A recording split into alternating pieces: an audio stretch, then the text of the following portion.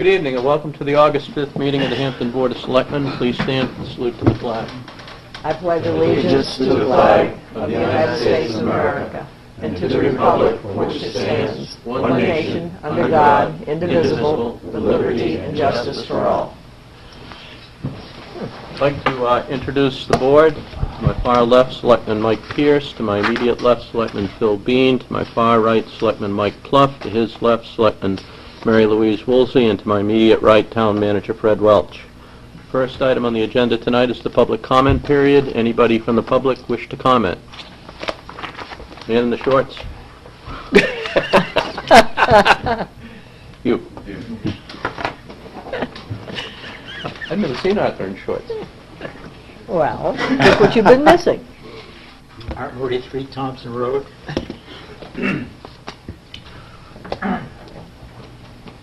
I, uh, the last, at least three times you've dis- been discussing boulders at Northside Park,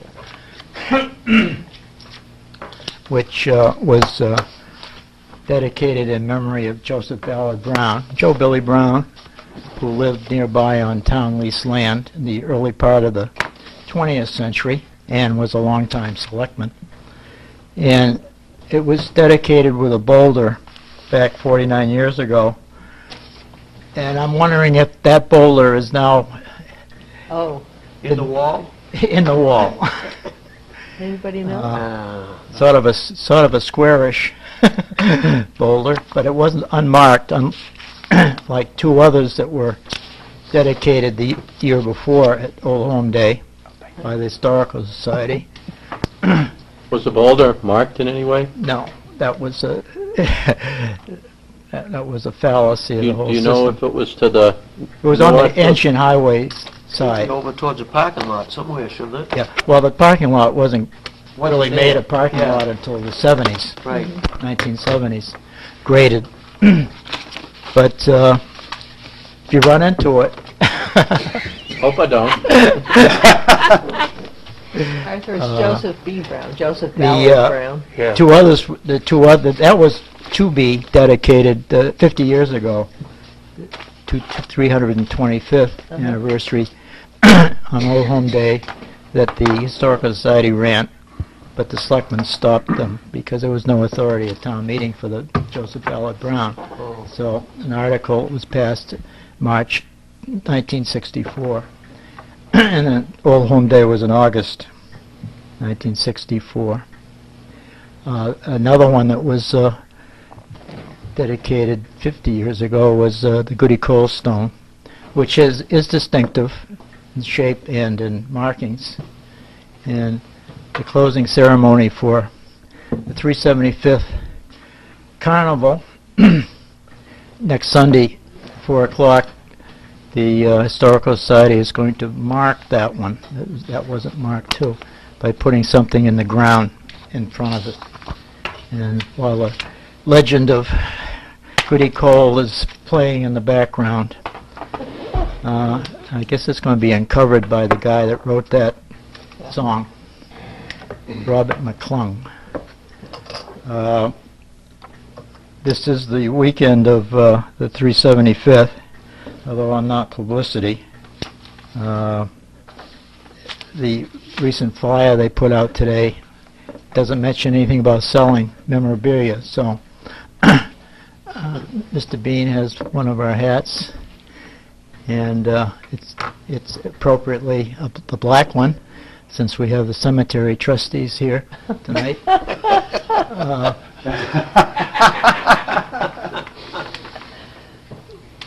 But uh, there'll be a tent, I guess, uh, although who knows where it's going to be placed. Uh, There'll be also the information tent for the commission, and we'll have all things to sell. Be open at least, at least the early afternoon of Saturday, and at least the early afternoon on Sunday, if we have anything left to sell. Uh, Whether it'll be open Sunday morning, I can't tell you. But uh, starts off Friday night, and uh, official opening is Saturday morning ceremony at 11 a.m. featuring Governor Hassan and Chairman Nichols. It's quite a combination. Did you know about that?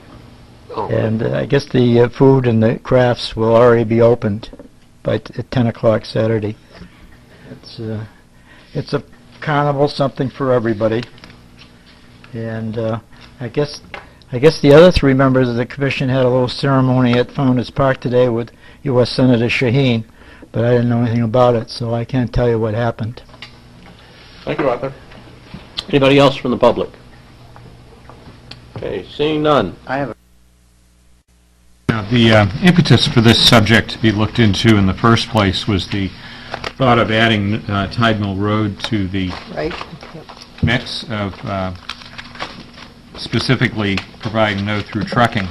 And so I, uh, when the code was first looked at uh, back earlier this year, a motion was made and passed to add a new section 80557 to the code uh, for that very purpose and to add Tide Mill Road on top of a general prohibition on trucking on public ways.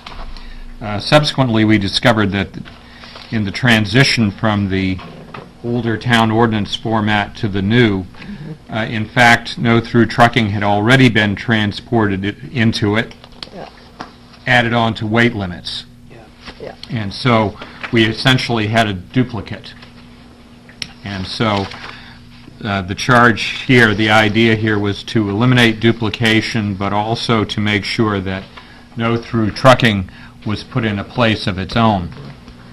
And so Fred and I had discussed that concept, and actually to leave weight limits alone for the moment. Um, We discussed that concept briefly last week when I was away on vacation, and uh, Fred drafted up something, and I looked at that today and felt that another something might accomplish that even better. And so Fred and I discussed that, and I, you have something in your boxes today that uh, says at the top from Council 8513, which is to basically break off the no-through trucking from where it now sits in Section 769 of the code uh, under weight limits, and to put that in its own new Section uh, 769A 1. Um, As far as singling out Tide Mill Road for no-through trucking, the thought was that this actually doesn't need a section all of its own because uh, it's already covered by the general proscription of through trucking on public ways throughout the town, so that it doesn't already need its own special protection. Um, The third thought was that the violations and penalties should be updated so that we aren't stuck in a uh, $100 for a, um, a current offense, for uh, a single offense, nevertheless would have a uh, graduated um, Yeah. fine of 100 for the first offense, 250 for the second, and 500 for the third and each subsequent offense. And so those are the thoughts behind the motion that you've got here presented, and if it's too much to swallow all at once, obviously, it can be put off for yet another week, but Um, Would somebody like to make a motion? I will I make, dare. I'll make that motion. I will, I will move, You have the updated one, Mary Louise? yes, and I have a question on it. I will move uh, to amend sections, uh, um, ordinance 769, section 7A and B by making the following changes. Sections 7, 8, 69A and B shall be removed from 769-7 and placed under the heading 769-A-1, no through trucking, and then adding a new 769-A-2 as follows. And uh, it contains the violations and penalties. Any person violating any of the provisions of 769A1 shall be liable to a penalty of not more than $100 for the first offense, 250 for the second offense, and 500 for the third and each subsequent offense if any section or part of a or part of a section or paragraph of this article is declared invalid or unconstitutional, It shall not be held to invalidate or impair the validity, force, or effect of any other section or sections or part of a section or paragraph of this article. I love bureaucratese. Number three, repeal Chapter 805, Article 9, subsection 57, Tide Mill Road no-through trucking provision, as same is now covered under 769A-1A. I'll I have a Second little that. bone to pick with this. I, I, I get what you're saying, and if I go over to what is the third, uh, fourth page in sequence, this back page, Sure, that's what's Okay. there now. it says um, Route 1A, Ashworth Avenue, and Ocean Boulevard. Basically, I assume that prior to this, it says somewhere, um, yeah, uh, the vehicle is being operated on the following named streets or highways. It should say, ex- it should say the same thing that it says in the Tide Mill Road 805, which is Exeter Road, High Street, Landing Road, US Route 1, Lafayette Road, State Route Route 1A, Ashworth Avenue and Ocean Boulevard, Towle Farm Road from Exeter Road to Merrill Industrial Drive and Winnacunnet Road. I don't think it's sufficient to have just those three. Oh, yeah, actually, those are uh, A, B, C, D, and then E, F, Well, Where is G. A, B, C, D? Um, I think I may have reversed the pages on you. Oh, I just didn't see, and further, to, to move just a Sorry little about bit that. further on this, Yeah, those are an Um, exception, by the way, under number four to the, uh, I don't have number, the prohibition. I don't have number four. So, I just, so long as we're clear on that, and number, w- and one more, Mhm. uh, when it says Towle Farm Road from Exeter Road to Merrill Industrial Drive, um, you've got trucks coming off I-95 onto the Exeter Road. Yeah. You can't stop the trucks from coming off I-95 at exit two, so you're gonna have to, uh, okay- okay, so that will be taken in by the Exeter Road part of You the, would, you would think, Right. yeah. yeah. Right. Which is not being, we're not, on- we're not changing any of that. Okay. I just want to make sure those, those streets that you're not going to get penalized on They are remain the s- same. are stipulated right in the new replacement that gets rid of the Towle Farm Road 805. Actu- Intention is to Actually, take uh, it in Oh. one lump and Yeah. transport it Actually, if into you want sections. to uh, channel the trucking uh, off of Tide Mill Road and put it onto Hard Arts Way, Hmm. Well, You want, you mean you want, I didn't know if... try that again. Okay. The idea was to have no-through trucking on Tide Mill Road. Right, Mm-hmm. And instead to channel it onto Hard Arts Way. that's what's That's been correct. done now. Right, so perhaps that is the exception, that is an exception that ought to be added to number four, Oh, the, as an that's what. exception. I Oh, thought- okay, Hard Arts Way is the exception because you won't be penalized if you get caught with your truck on there. Right, Yes. That's why we brought you here. right. Good. That's why you raised the point, I Well, we think. worked that out. That's way is, I know, is it posted? So the because subsection H. I know. We gotta get the Public Works. yeah. Okay. Does, Right. does somebody want to um, move to make an amendment to Mary Louise's motion consistent with Mark's suggestion? Basically adding that's to fine. 4H. Are you making that motion, Mary Louise? I'll move to amend. Okay, and I'm not sure that we had a second on the original I- motion. I did. He did, oh, Okay, well, do somebody you want to second the amendment? I can do that, yeah. Okay. And that with the understanding that the roads, as stipulated in 805, that are not penalized when you're driving on them, will stay the same, and with the addition of Hard Arts Way. Correct. Wow, that was hard work. Any, uh, any further Thank you. discussion? Thank you. All in favor? Unanimous. Thank Okay, heaven. very good. Now- Thanks, Mark. Thank How you. soon can the signs go up, Fred? We have to order them first. Have to order- Oh, Mark, and I did ask Fred when I sat down, and I, and I do want to ask about this.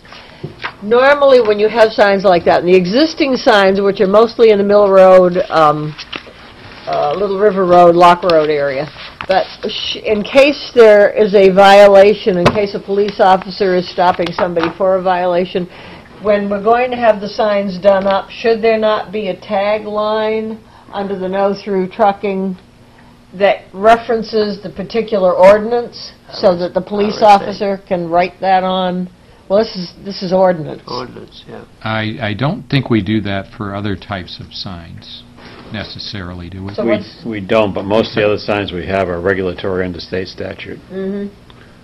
so. Hadn't thought about that I would that think it one. would be sensible to put that so the police officer can just stipulate under uh, ordinance, you know, 769, section 7 something. Well, We I, can do that. I think that, Crossband, you, you state the uh, RSA. Yeah, eh, for weight limits, Yeah. yeah, Frostband. right. You s- you s- That way you- there's you- no- You put the RSA on there. Yeah. Right. State it because. Yeah. They had a conversation about no RSA on there, no uh, teeth.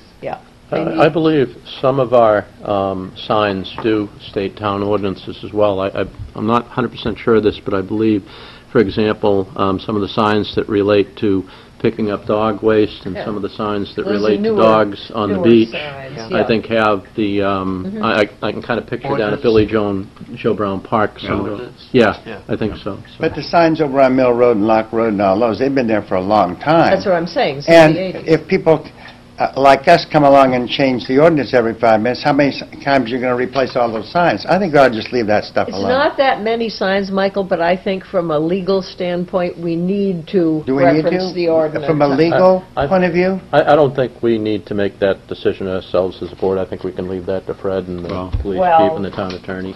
I think we need to reference the ordinance where a police officer is going to be standing there without a clue as to what these signs mean.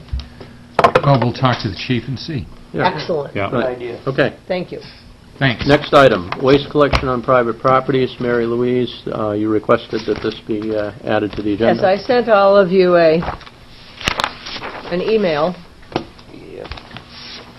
with my recommendations. Once again, starting to do this a little at a time, we have got to get control of this waste collection stuff. Um, Fred, how far along are we on identifying the private roads? And you have a, a- I think... Well, wait a minute, this, the the item on the agenda is waste collection on private property. Right, That's- but I let's- just want to let's make stick- sure that this, that we're pretty comfortable that these are the private properties that we are aware of now. I just hate getting blindsided. If we're going to address this, I just want Uh, to make sure we're I addressing I think it. that there's a way of addressing Properly. it and not worrying about that, but why Well, don't you I worry continue- about everything, so there Why you don't you go. continue on your, So, I took the list that Fred prepared for us, or Fred and Keith, and I divided the list into three sections. And the first section, A, is the churches. The Methodist Church on Lafayette Road, the Congregational Church on Winnacunnet Road, Our Lady of Miraculous Medal Church on Route 1, and Sacred Heart School on Route 1. Um, It's my understanding that town vehicles are, at the current time, going on to these properties to collect the waste. private property as Private opposed, property. as opposed to private road. Correct. Right. Now, my recommendation for the A segment, which is the three churches and the Sacred Heart School, is as follows. I move that we stipulate that all three churches have the ability to purchase carts and place those on the town roadway to pick them up for collection, or they are welcome to transport their waste to the transfer station on their own, as it suits them. The church, however, the church school, however, would need to pay for its own dumpster, uh, hire its own dumpster, and pay for private removal. The second section is the mobile home parks. Taylor River Estates, Four Seasons, Hemlock Haven, and Hampton Beach Trailer Park. My recommendation on that section of the private properties is as follows. The three of the mobile home parks are located on planning board approved town-owned roads. They're not class five roads, but they're town-approved roads. The residents can continue to place carts on the town road for pickup. I believe they're doing tho- those at least in Hemlock Haven and, and um, Four Seasons. Four Seasons. I think they're also doing that, Fred, on the uh, uh, Taylor River Taylor River they are, yes. Yeah. So my recommendation would be that we continue as long as these individuals have their carts and put them out on the public way so the truck can just go down and collect, that they can continue pickup as usual. But for the Hampton Beach Trailer Park, due to the quantity of waste and the difficulty of accessing with the town vehicles, and the impossibility of having all that stuff, as Mr. Pierce pointed out last week, having God knows how many carts strung out along the, the street, they need to be told to hire dumpsters and pay for private removal. And the third segment is businesses.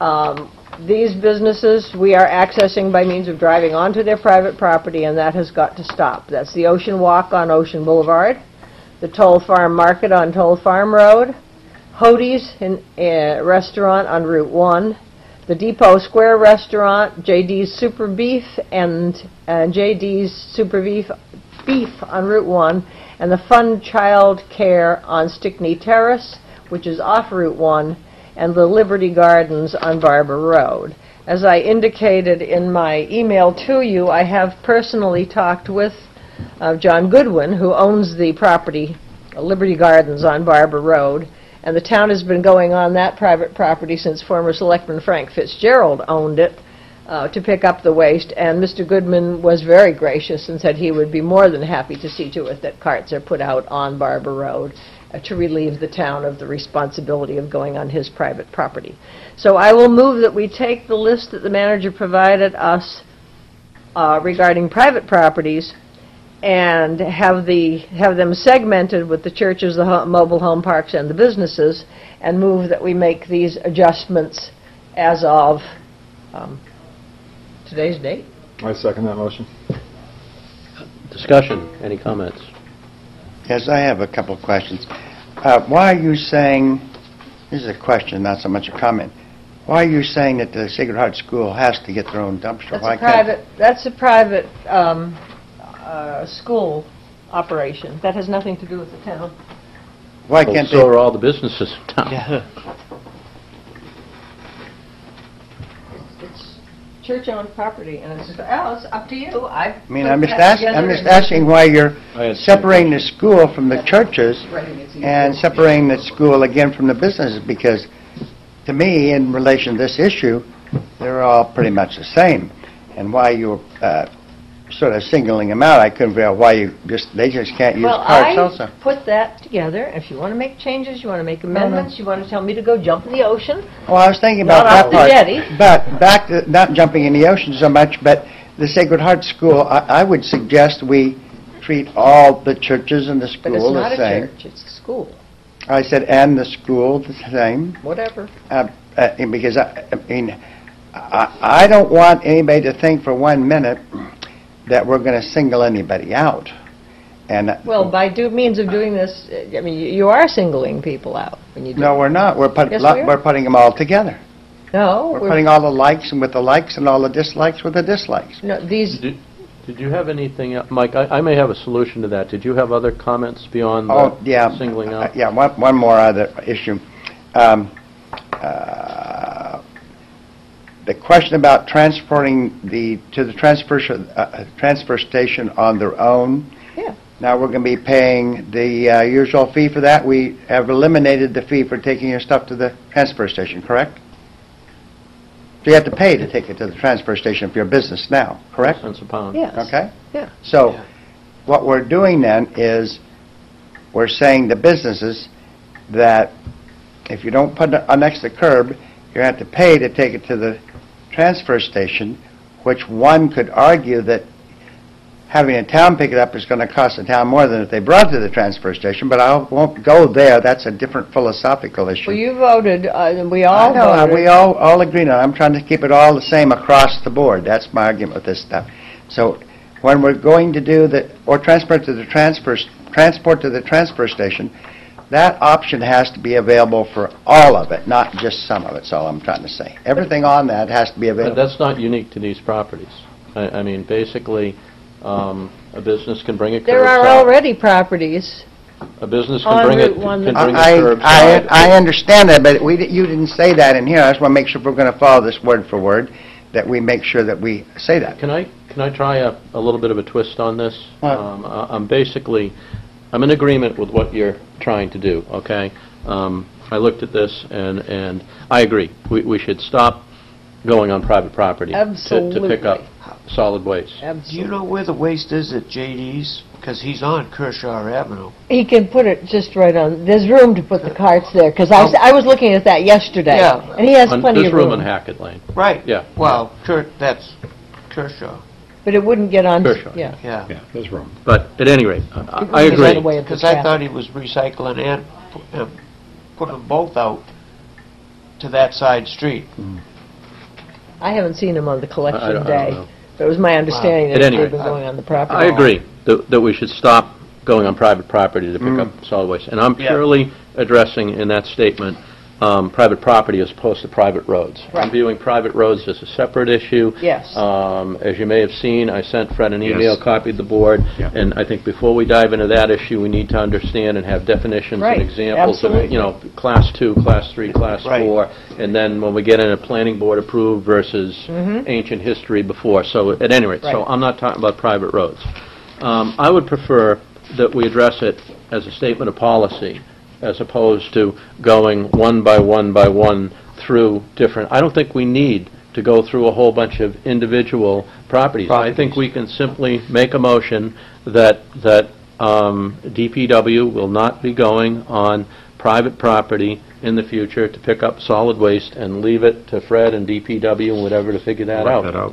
because we, if, if it- if we, ma- if we make the motion that way, if, to your point of is the list complete, if something else is identified several weeks down the road, the problem's solved. We've made our motion or whatever, and, I um, like that idea, general motion, in in general terms. So at because any That way, rate- everybody's treated the same. let, let me, let me kind of continue with some of the thoughts. Um, I think, and, and I did talk about this with, with Keith last week after one of the CBA meetings, uh, I think we can certainly make that motion and all, but I think in terms of implementation and whatever, Keith is tasked to come back to us sometime in September, could be the beginning, could be the end, with an overall plan, okay? Right. And I think that this issue of not going onto private property, we're, we're providing the motion tonight, you know, conceivably or whatever can be folded into that plan, and let him figure out the timing that works in conjunction with any other changes. That's my next comment. Um, I think everything we're saying applies to both existing properties and no future um, additions. And I'll comment on the trailer park. I I know last week I expressed concern about stopping the pickup at the trailer park. Quite frankly, I I just feel bad that they pay an enormous amount of taxes, get very little service, whatever. However, I talked with the DPW director about that as well, and, and then I went down there on Wednesday and, and drove through with a full-size pickup truck, and um, I, I think that the roads, I, I'm in agreement, the roads are, are just too narrow, there's, there's sharp turns, and to the issue of, of them bringing their stuff curbside, my view, and, and I, I- know Keith feels this, but it's just not practical. The carts are way down the back Yes. Corner of it, there's parking along Kings Highway in front there. Yes. Uh, As a matter of fact, the, the Kings Highway was totally loaded with cars Yeah. Right. um, when I was down there, you know, Wednesday And afternoon. it has so been for the last 50 years. Right. So, Uh, Hasn't changed. and, and the other thing I felt better about is, is Keith was going to get some information, but it, it, there's basically 183 units there, and he didn't feel like it was going to add more than a buck or two a month um, to the individual units, so it's not like we're, you know, Okay. killing them financially. So anyway, um, I just wanted to comment on that. Um, One specific question I do have in your proposal, Mary Louise, what do we do um, in, in, in in the case of um, properties that we have been picking up that have purchased carts that no longer have a use for those carts because we're no longer going, gonna- go on their property. For example, the trailer park, whatever. The trailer park's got what looks to me to be about 25-ish, 26, 27 carts, which, assuming they go to a dumpster or whatever, they've got no use for the carts. I believe that to the extent that, that an entity is no longer going to have a need for those carts because of our decision, I think we ought to um, take those cards, carts back, put them in our inventory and refund them Yes. Anything that, that, um, Well, that- that they've paid for them. Since they're used, we could refund a portion, I would say. I I would be in favor of, of, let let me continue, I'll make a Oh, okay. motion that amends your motion and see if, if people will go for it. I would be in favor of the full amount, because it's us making the decision um, to stop Stop the something that's, yeah. Oh, okay. Um, As long as the carts are in good condition, or acceptable condition.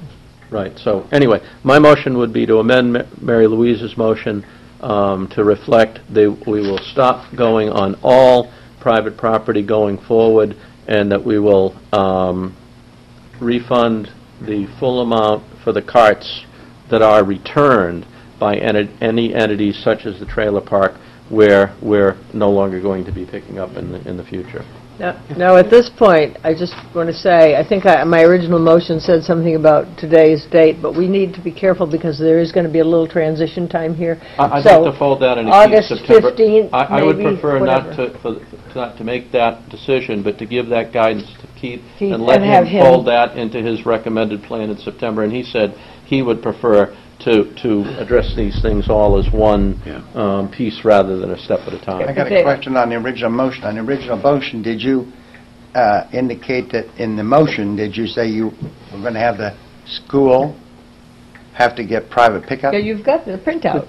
I I believe, Did you w- make your motion exactly as Yes, I printed? made the Okay. motion and what I emailed Okay. to you. I'd I- like, I'd in like in to my amend... motion, because I have not, I have not addressed the school in my motion. Mm-hmm. So if, do I have a second for my motion? Oh, to the amendment. To the amendment, right. Okay, I'll second the Okay. amendment. Um, But then we're going Because to... I have not, as far as I'm concerned, because I have not, in my amendment, highlighted the school, I believe that the school has the right, if they wish, to bring their carts curbside, just like anybody else, and I don't see the school as being any different than any other business that wishes, if they wish to bring their trash curbside, why would you let every business in town, conceivably, bring their trash curbside and not let the Sacred Heart School? But by the same token, should they choose to bring it to the transfer station? it Yeah. would That's be fine, that's their charged choice too. like- Right. Yeah. I think, treat them all the same, in other words. Right. I'd like to amend your original motion to saying, treat everybody... Mike, the- we already have one amendment on the table. We we have to vote on that? Did we vote on the amendment yet? No. Okay, let's vote on the amendment, so we can get that out of the way. All in favor?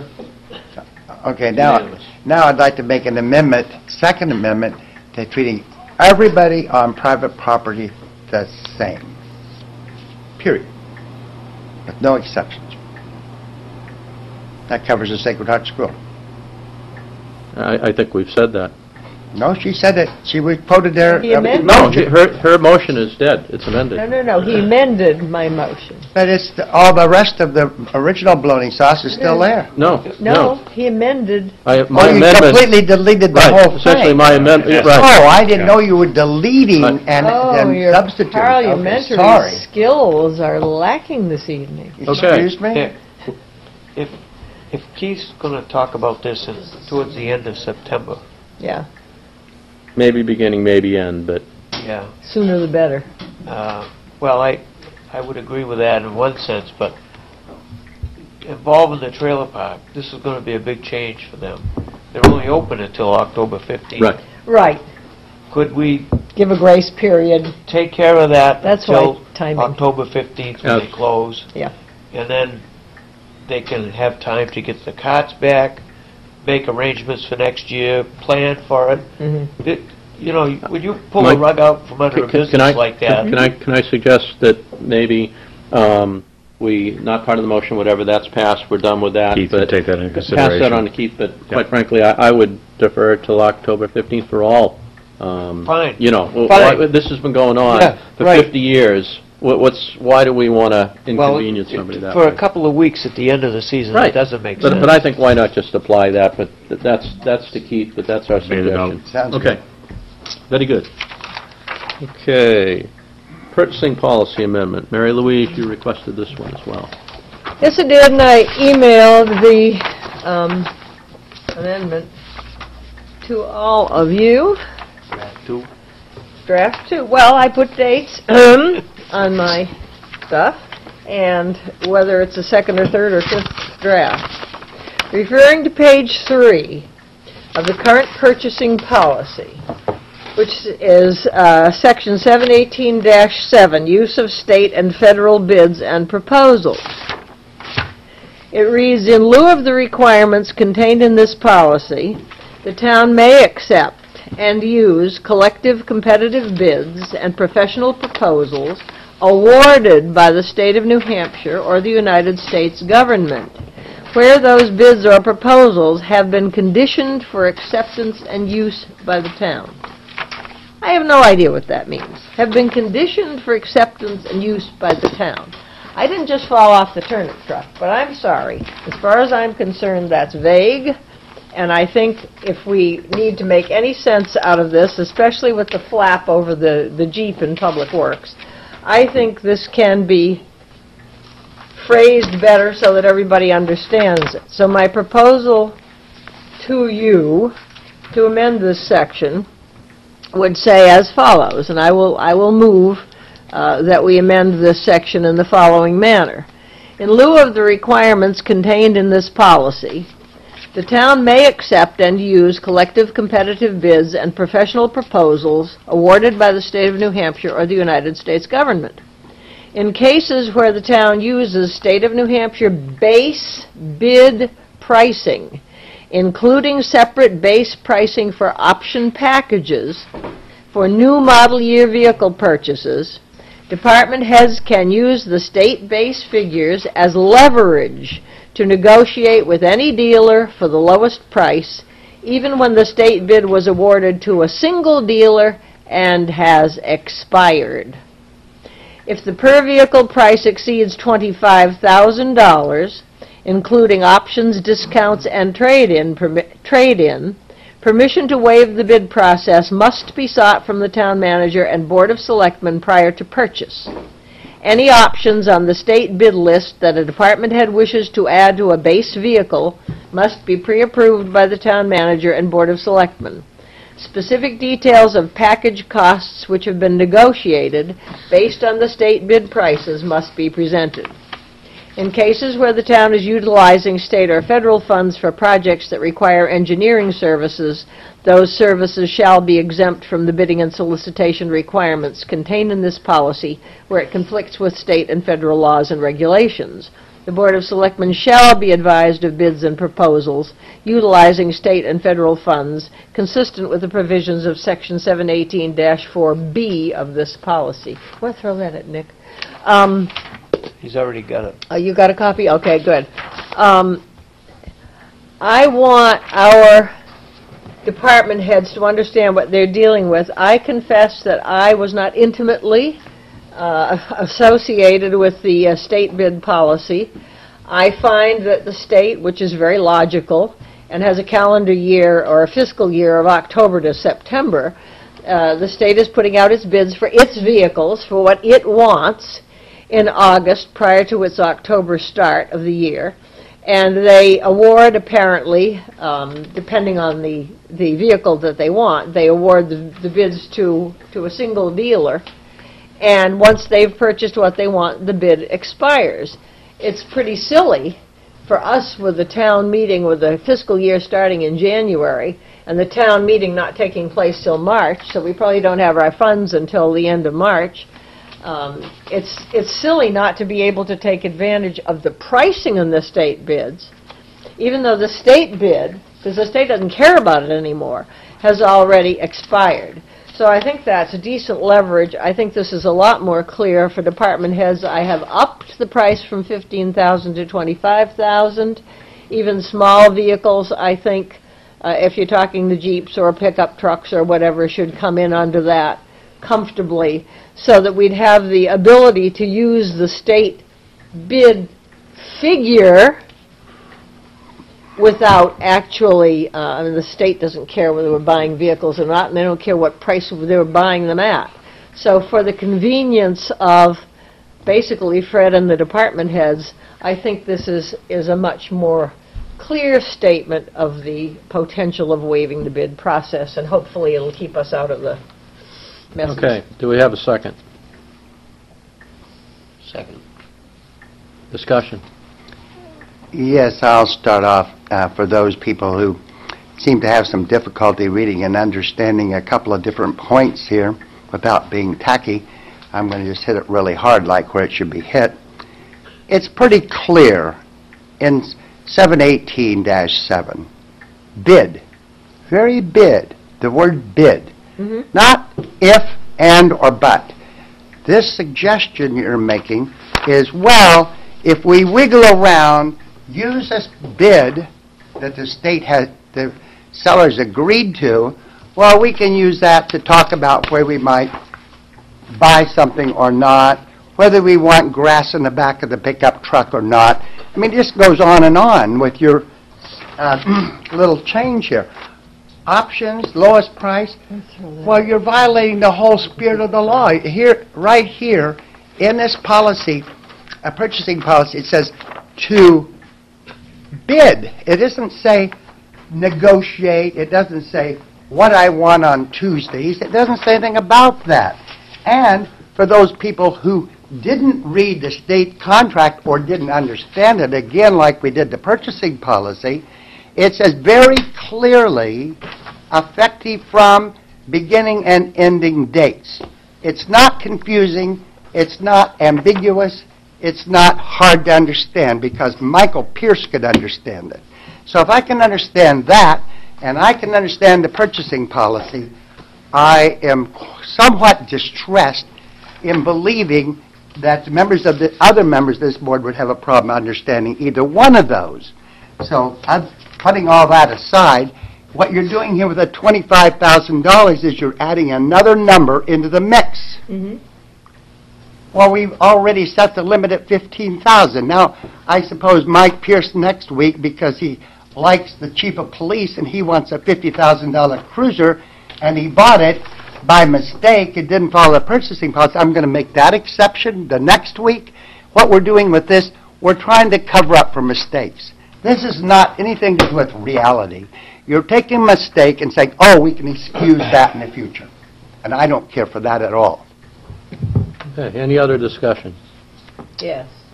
Oh, Phil, Can I- I'll defer to you. Go ahead, and then I have a, Well, I just know there's been uh, some, some uh, four or five instances that Selectman Pierce talked about last week. We are now going to institute a procedure, and that was passed last week.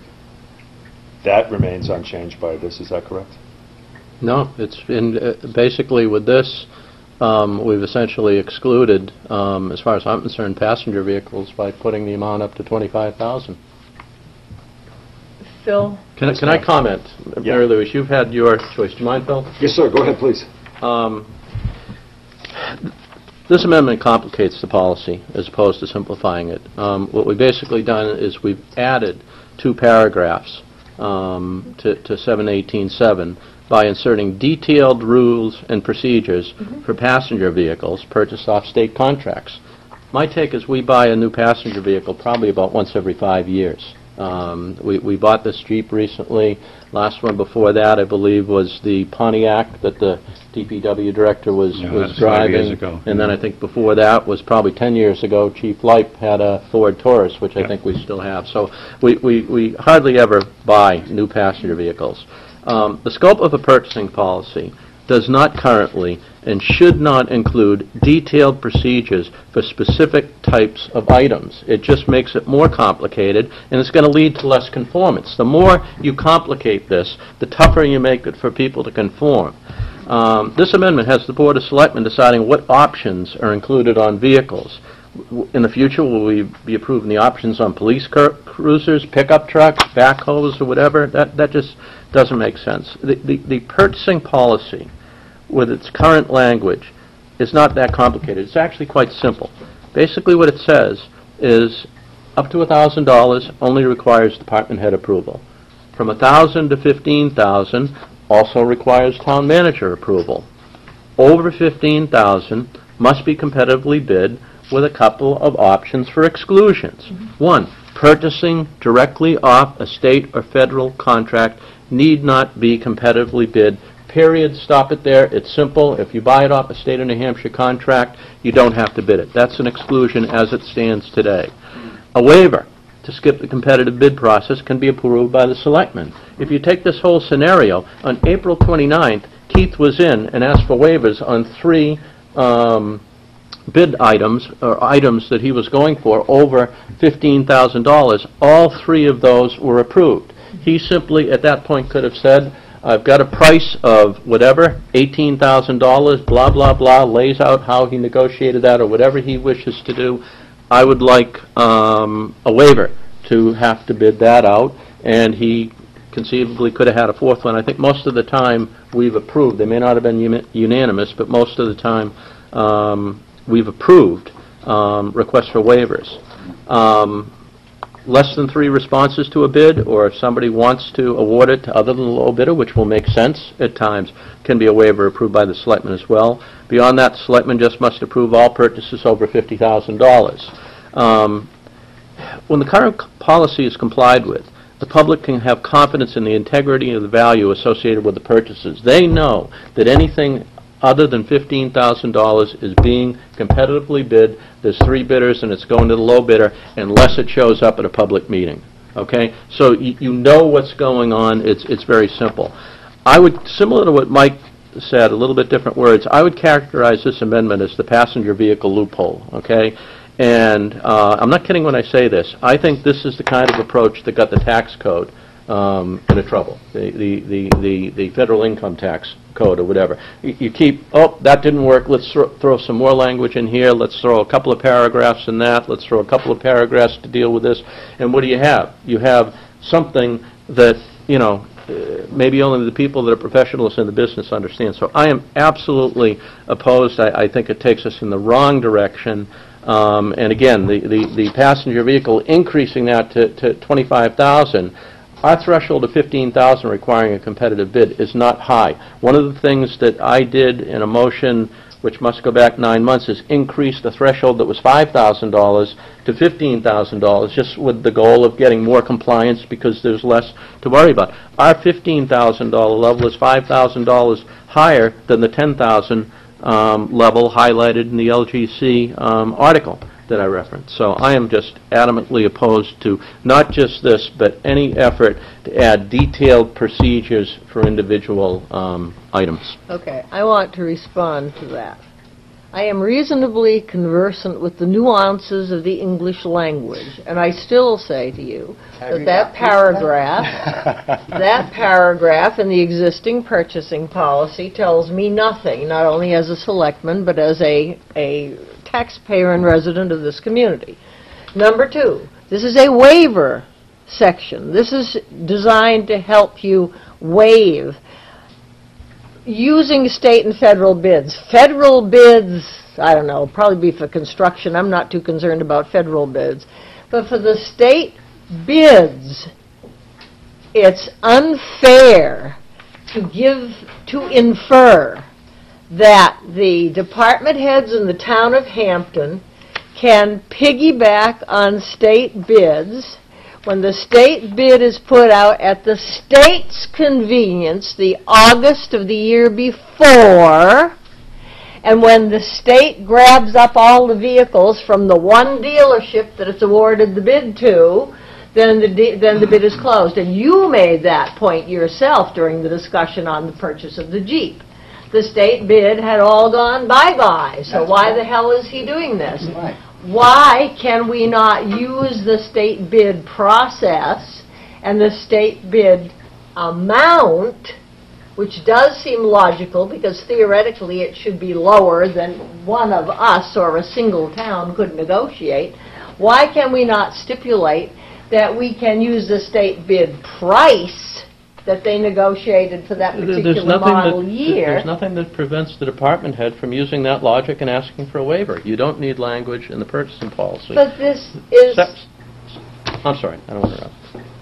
I don't want to go on forever, but I don't want to Well, I interrupt. don't want to go on forever either, but I think it's... But you're focusing on automobiles. Mary Mary Louise, this can apply to salt, to gasoline, to diesel, May to I- may I- computers, Mr. to, Chairman? to- it- it's to everything on a state bid. I want to thank Mr. Pierce and Selectman Woolsey for, for their interest in the matter, and it's, it's caused a little bit of um, consternation in the board, and I think we had this addressed last week.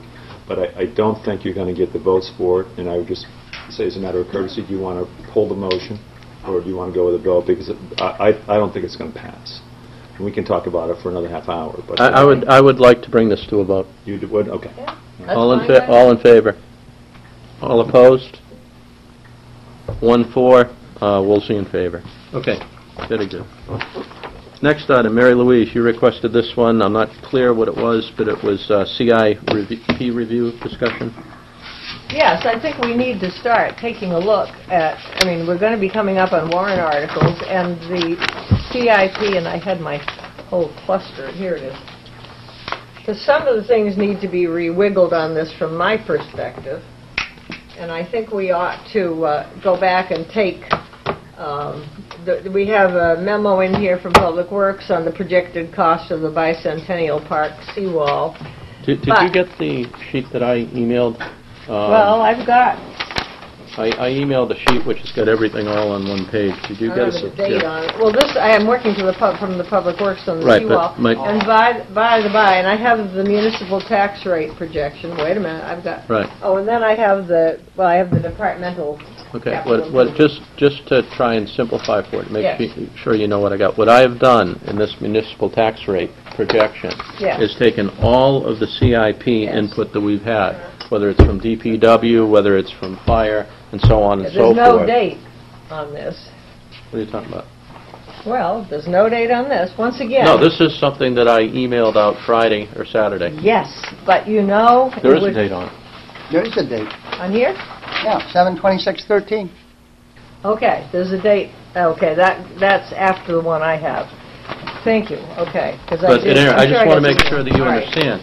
This has all of the items in the CIP Yeah. for all departments Yeah. on one piece of paper between 2014 and 2019. Right, but The what I'm- reason they, they have to be there in order to do the, the tax rate calculation. Right, but what I'm trying to say is, I think some of these need to be adjusted, which Okay, is why that's I was fine. looking for a Okay. discussion. What what do on you, adjusting what do you them. think should be, The 600,000 that Keith, and I don't see the seawall on here, are you going to add that?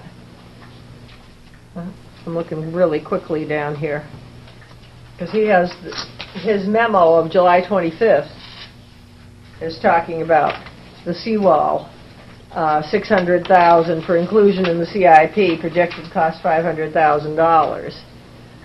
Are we going to add that? yes, yeah. But that's not on here. Not yet. apparently not. That's Okay. why I'm No, saying absolutely. I'd like to make sure that this is updated. The other thing is that you're showing a fire pumper truck replacement. Um, I think, I think items like that, first of all, if we wait till 2015 to replace the 1988 pumper, we ought to have our heads examined. Well, that's And I what the think chief that's has a- requested. That's a, a, well, I, I still think bigger things should go in there. Anyway, and the part, um, where are we? Wait a minute.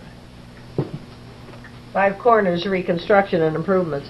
I would pull that entirely or push it forward to 2020 or something. That is absolutely ridiculous to, to So plug in you're a figure sa- of so you're saying on that point is that you don't out. care about the most accidents in Hampton Nonsense. intersection. What- Nonsense. Yeah, that's Okay, right from can- can we- the chief police Nonsense. record. Can we- Mary Louise I is would making some take it out. suggest, some suggestions for amendments. Okay, one is Mm-hmm. to add the um, seawall Mhm. to 2016, I believe it was. And get a more And- and- realistic And that was, that was my oversight, because I intended all to do right. that, and um, I And, don't see it and here. get a more realistic price, not to rebuild the seawall as it was when it fell all apart, but a price to build a seawall that can better protect as we run around assigning people to study groups on the sea rising.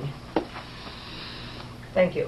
Okay, and This, if we that, are... that is one. Okay, do Yes. we have a consensus that we should add the seawall at $500,000 to the 2016 CIP? Mm, no, we'd Six. add the seawall with the corrected price. Wait- wait a minute. That's not a realistic Well, then there's not a decision to make, so we'll leave it out of there. if- if- Is that Well, what you're the saying? Public Works Director has given us this, so he needs to be given other guidance if you want. What year did he want to do that? 2016, I believe. 2016. I think it is. Uh-huh.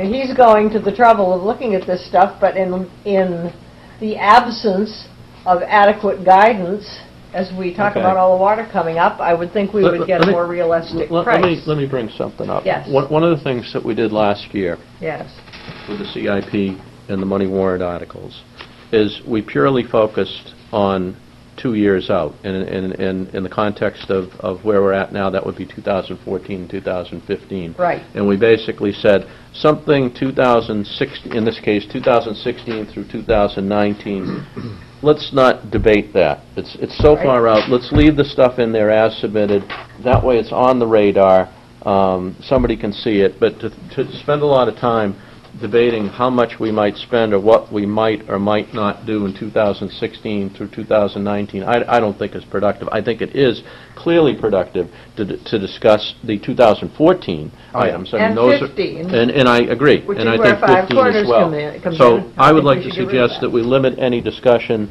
to changes in the CIP. I will add that um, requested the DPW director for the seawall to 2016 at $500,000, but I would like to to suggest that we limit our discussion to 14 and 15.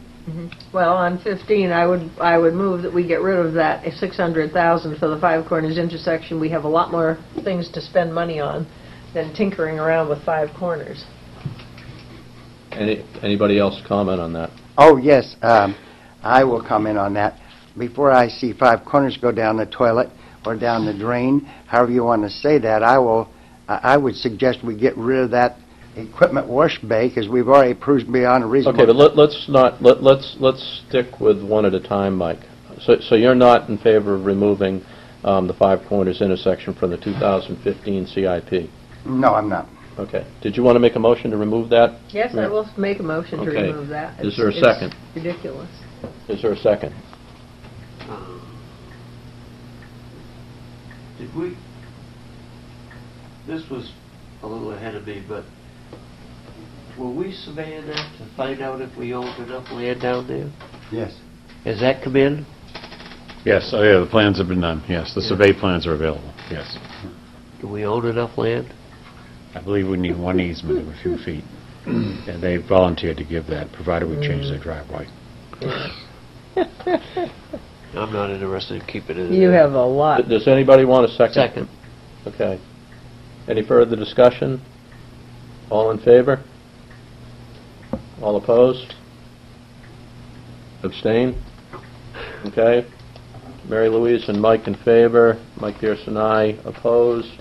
Phil abstain. It stays in there because the motion did not carry. Um, I'm not absolutely diametrically opposed to what you just said. I'd like to hear from the DPW director next time he's in before we go pulling that. That, Yeah. that's, that's the reason I voted against it. Anything else on Okay. that, Mary? We'll need more, when we, we are going to sit down, I assume, and go over the money, the the warrant articles, especially the money articles. Oh, articles. yeah, we're gonna at start some that point right in away. You've time. not proposed any changes to what's listed for 14, though? Yeah. Okay, anything else in 15? Nope.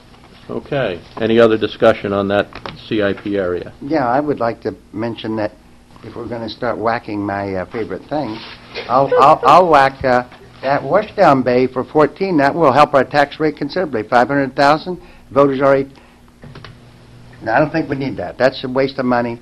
If we take care of our vehicles properly and if we put the proper undercoating on them when we purchase them and we do all the preventive maintenance, it's been pretty well documented that washdown facilities are a waste of money for $500,000. Don't, don't forget, that's roughly a 100,000-ish, I believe. For the wash wash bay. Yes. And the balance is Well, for a, a offices. garage, I think that is primarily sewer and drain. Storage. Four hundred for the building. Right, th- that's primarily sewer and drain, is that? the case? Yes. Yeah. Mhm. Yeah. So the sewer and drain truck isn't freezing in the winter.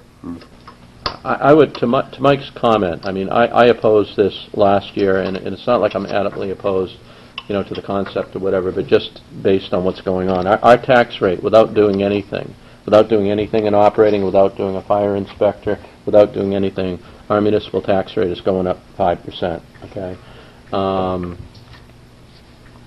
The sewer and drain thing at at at $500,000, adding on to that increase that we've already got, I think if we go forward with that, it's DOA. One thing that I would, I don't think we should make a decision tonight, but maybe it's something that, that the town manager want to bring, might want to bring back to the DPW director and discuss, is I think a wash bay only that's designed in a manner that does not circumvent adding on in the way of the building at such, at some future date, I think has a chance of passing.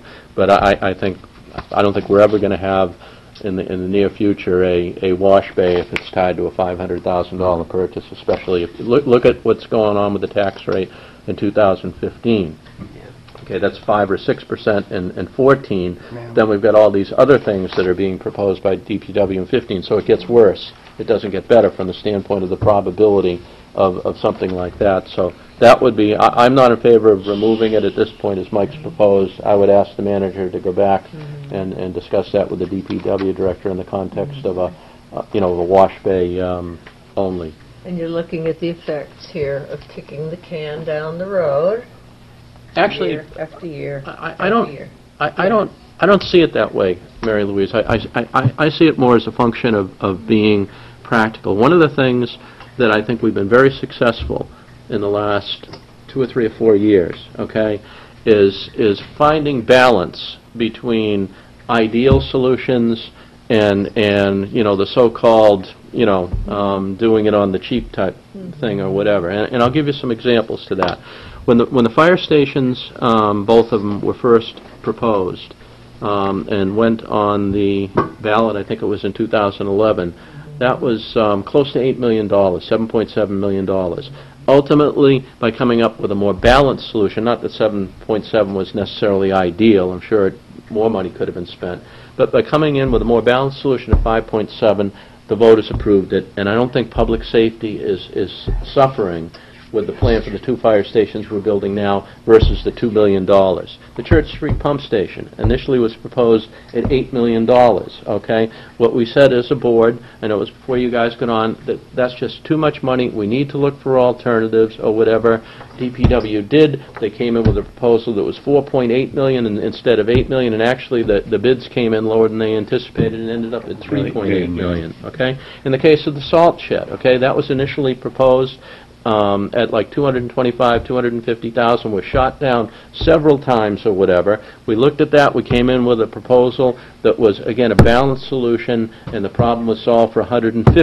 Don't get me going on You look at, you look at the Kids Kingdom. Kids Kingdom was proposed last year at $100,000, and we said, we think that there are alternatives to, to refurbishing the equipment that we've got. And I suspect by the time all's said and done, we're probably only going to spend about $5,000 Maybe less. instead of $100,000 and, and get more than a couple of years of, of useful life. So I I would like to at least let the manager take that back and report back next week as to what the DPW director's feelings were. Does that make sense, Fred, or? I'll ask. I think what we need to do here, Mr. Chairman, is, wh- if you- if you look at these numbers across the bottom, which you elegantly pointed out, it's going to be pretty significant increases every year in the taxes.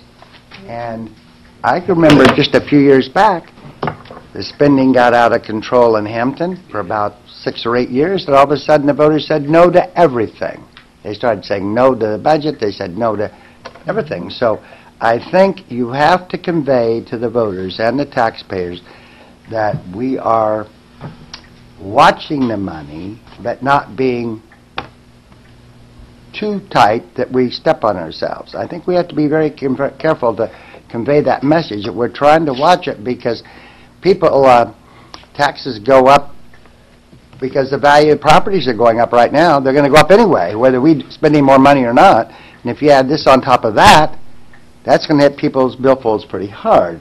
And uh, I don't know about you guys, but I don't exactly roll in the chips, so I would like to keep these tax rates at a reasonable rate. And I think most people in Hampton would like to feel we're looking out for that same interest. A couple of comments, Mike. A hundred thousand or whatever, hundred fifty thousand dollar wash bay, as opposed to um, a five hundred thousand dollar, um, including a garage, um, is is would be a substantial um, reduction. I've done a few numbers, but I'm not comfortable enough that I I want to check those and spot it. It would be very substantial. So, How can we much- leave that as far as 2014 at that? How much is uh, the uh, 600,000 for Five Corners with your little calculation? That's in two, that's in 2000. Uh, 15. 2015. Ba- Okay. Basically, one way you can look at it is, in very rough terms, Mhm.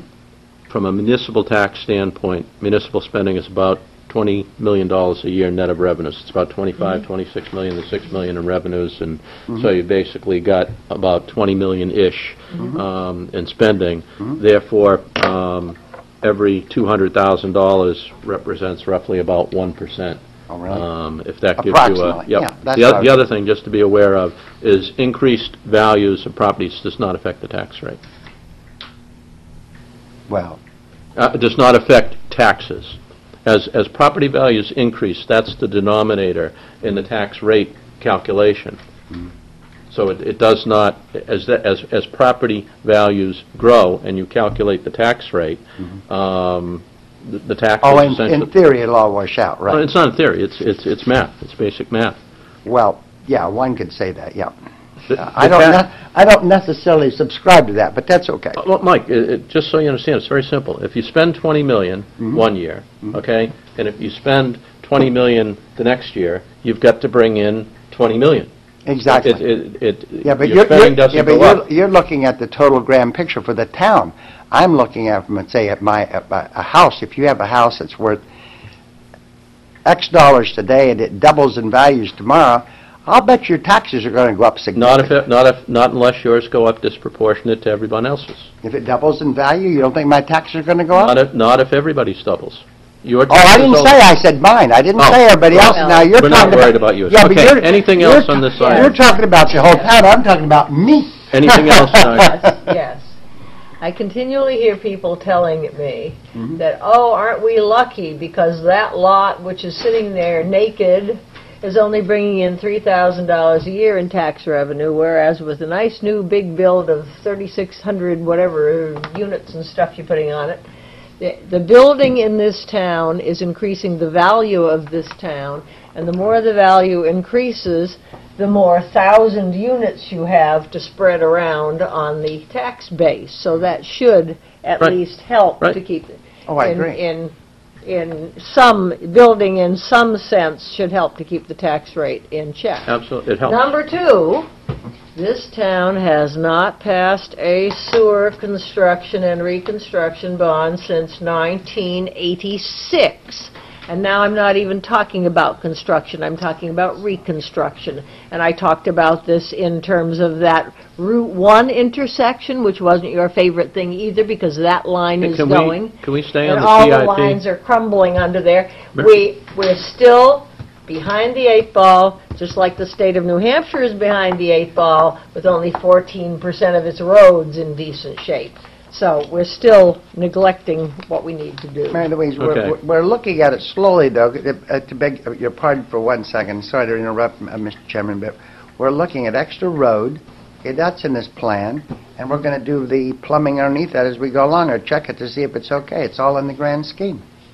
So I don't know if I... That's just one road. Well, we don't But you're paying for infiltration studies townwide. Right, we're gonna see Because what of all the leakage into the old crappy sewer system that is rotting underneath the roads. So Okay, I, I don't, Yeah. I don't think we're on the path to solving anything. Yeah. That's a replacement, once Okay, again. can we, can we move on to the Sure. next Yes, item? sure. Okay.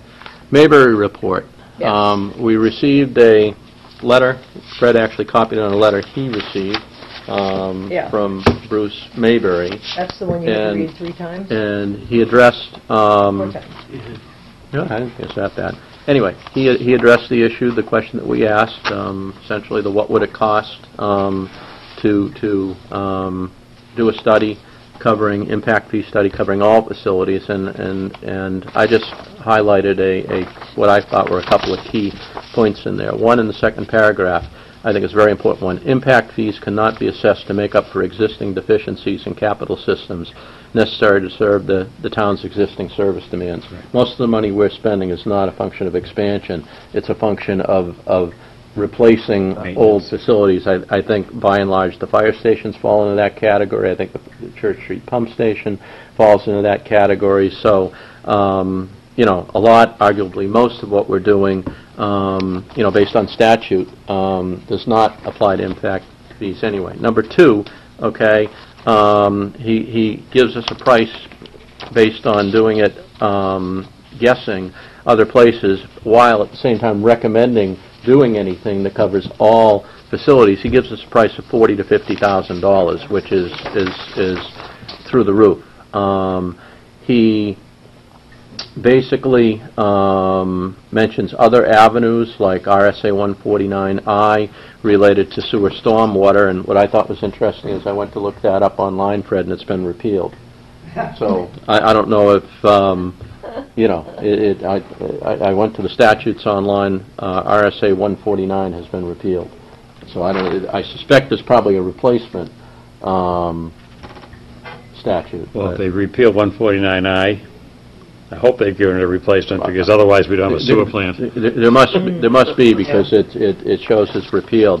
I, I think the, the bottom line is, I, I would like, this is a planning board responsibility. The only reason we got into this discussion um, is, is they indicated they didn't have any money budgeted. That's what it was in the, in the order of, Well, you um, into this Mary Louise, can I finish? discussion last When it was in, along the order of, of four or five thousand dollars or whatever, at forty or fifty thousand dollars out of our budget, that's not gonna happen. My take is, is, is let the planning board do their job, it's their responsibility, and, and, and let's get the Board of Selectmen out of the business of impact fees. But the Board of Selectmen are the ones who started this last fall because you directed the manager to send the information and the letter, etc., which I got a copy of courtesy of Mr. Bean in my conversation with him. You guys sent the letter to the planning board Mhm.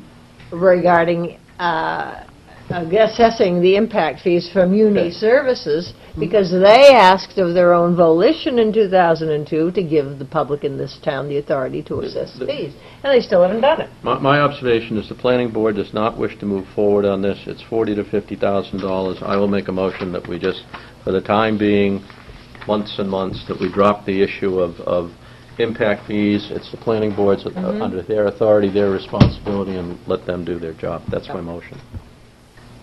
You want to drop it? Hmm? You're saying you want to drop it? Yeah, think I, we I don't can think just that's do an it. item that we Oh, should it's not continue worth to discuss at the Oh, board I, of I- selectmen I'll level. second that, but I want to, I, I want to make a couple of comments. So I'll second with the privilege of making a couple of comments. Mhm.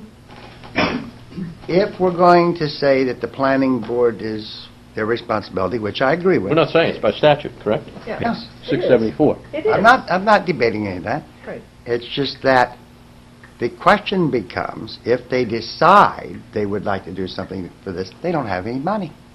So what do they have to do? Well, Come they with their can hi- plan in their They, budget, they can put it in Michael. their budget for They can next put year. it in Put their in a budget. budget request, you They think? can put it in Is their that the budget. right avenue to try? Yes. Yeah. But if you watch the planning board meetings, and Mary Louise, you've been there a lot lately, I suspect you, At by every and large, the meeting. planning board doesn't have an interest in, Right. in Pursuing instituting impact. municipal, Mhm. and, and I think that they have some good reasons for that, based on the existing facilities where we're spending it. So, Okay. we have a motion, we have a second, we're ready to take a vote, all in favor? Unanimous, okay, good, I'm glad that subject's gone. Any other old business? Yes, I have some old business um, regarding DRED. And I don't, I don't want to be misunderstood because I am going to address something that's a little bit sensitive, but the only option I have is to do this publicly. I have been asking, first in regard to the joint operation plan, uh, when we apparently couldn't get anyone from DRED down to, to talk to us, so discussions were conducted privately. And then, of course, with the uh, mess that took place at Hampton Beach on July 4th, where I really got exasperated and called Senator Stiles, and she kindly offered to uh, ask uh, Phil Bryce and some of the uh, individuals from Concord to come down and meet with us as a board in public on the issue of what was happening with the uh, with the state of New Hampshire beach in Hampton. Uh, in addition, we got a uh, what I consider an interesting email from Mr. Hausman asking uh, basically if we had any foundation to base our seven cents a pound, our big increase from four cents to seven cents a pound, basically whether we, we thought we could do that. They are a contentious group. Um, but I have been giving this some thought lately, and I asked as recently as today whether a superintendent of Seacoast Parks has been appointed yet. And the answer, of, to the best of my understanding, as of the 5th of August 2013, uh, that, that position has not been filled. There's an individual temporarily, I guess, uh, sticking his finger in the dike for the state. But this makes three seasons, three summers since Mr. Warburton left, that there has been no official um, superintendent of Seacoast Parks. And the reason I was thinking of this is that I thought back to probably a month ago Richard, when you volunteered the fact that you had um, put in an application for that position. Now, I've been rather um, trusting, I guess, along the way here, and I kept thinking we were going to see a superintendent appointed, that they were conversing and they were thinking about doing this. And uh, nothing is happening, and nothing is happening. And when I talked to you after I talked to Senator Stiles, I asked you if we could set up a meeting since Nancy was kind enough to offer. She guaranteed me that they would come down and meet with us in public. And we had a lot of stuff on the agenda. I think it was the 15th of July, and we've been going. in. And we still haven't set anything up. And I, I don't mean this personally, but I am concerned at this point in time, since if your application is still active I active, have not submitted an application. I Hmm? heard that they, you know, so- sometimes you almost, you almost wonder if you- if it pays to be honest or whatever. No, I- okay? I I appreciate it. I disclosed just- something simply so there wouldn't be any question, okay? If- Right. um, I sent a resume in, period, okay? And that was it. I left it at that. To the best of my knowledge, the position has not been posted yet, it okay? hasn't even been posted?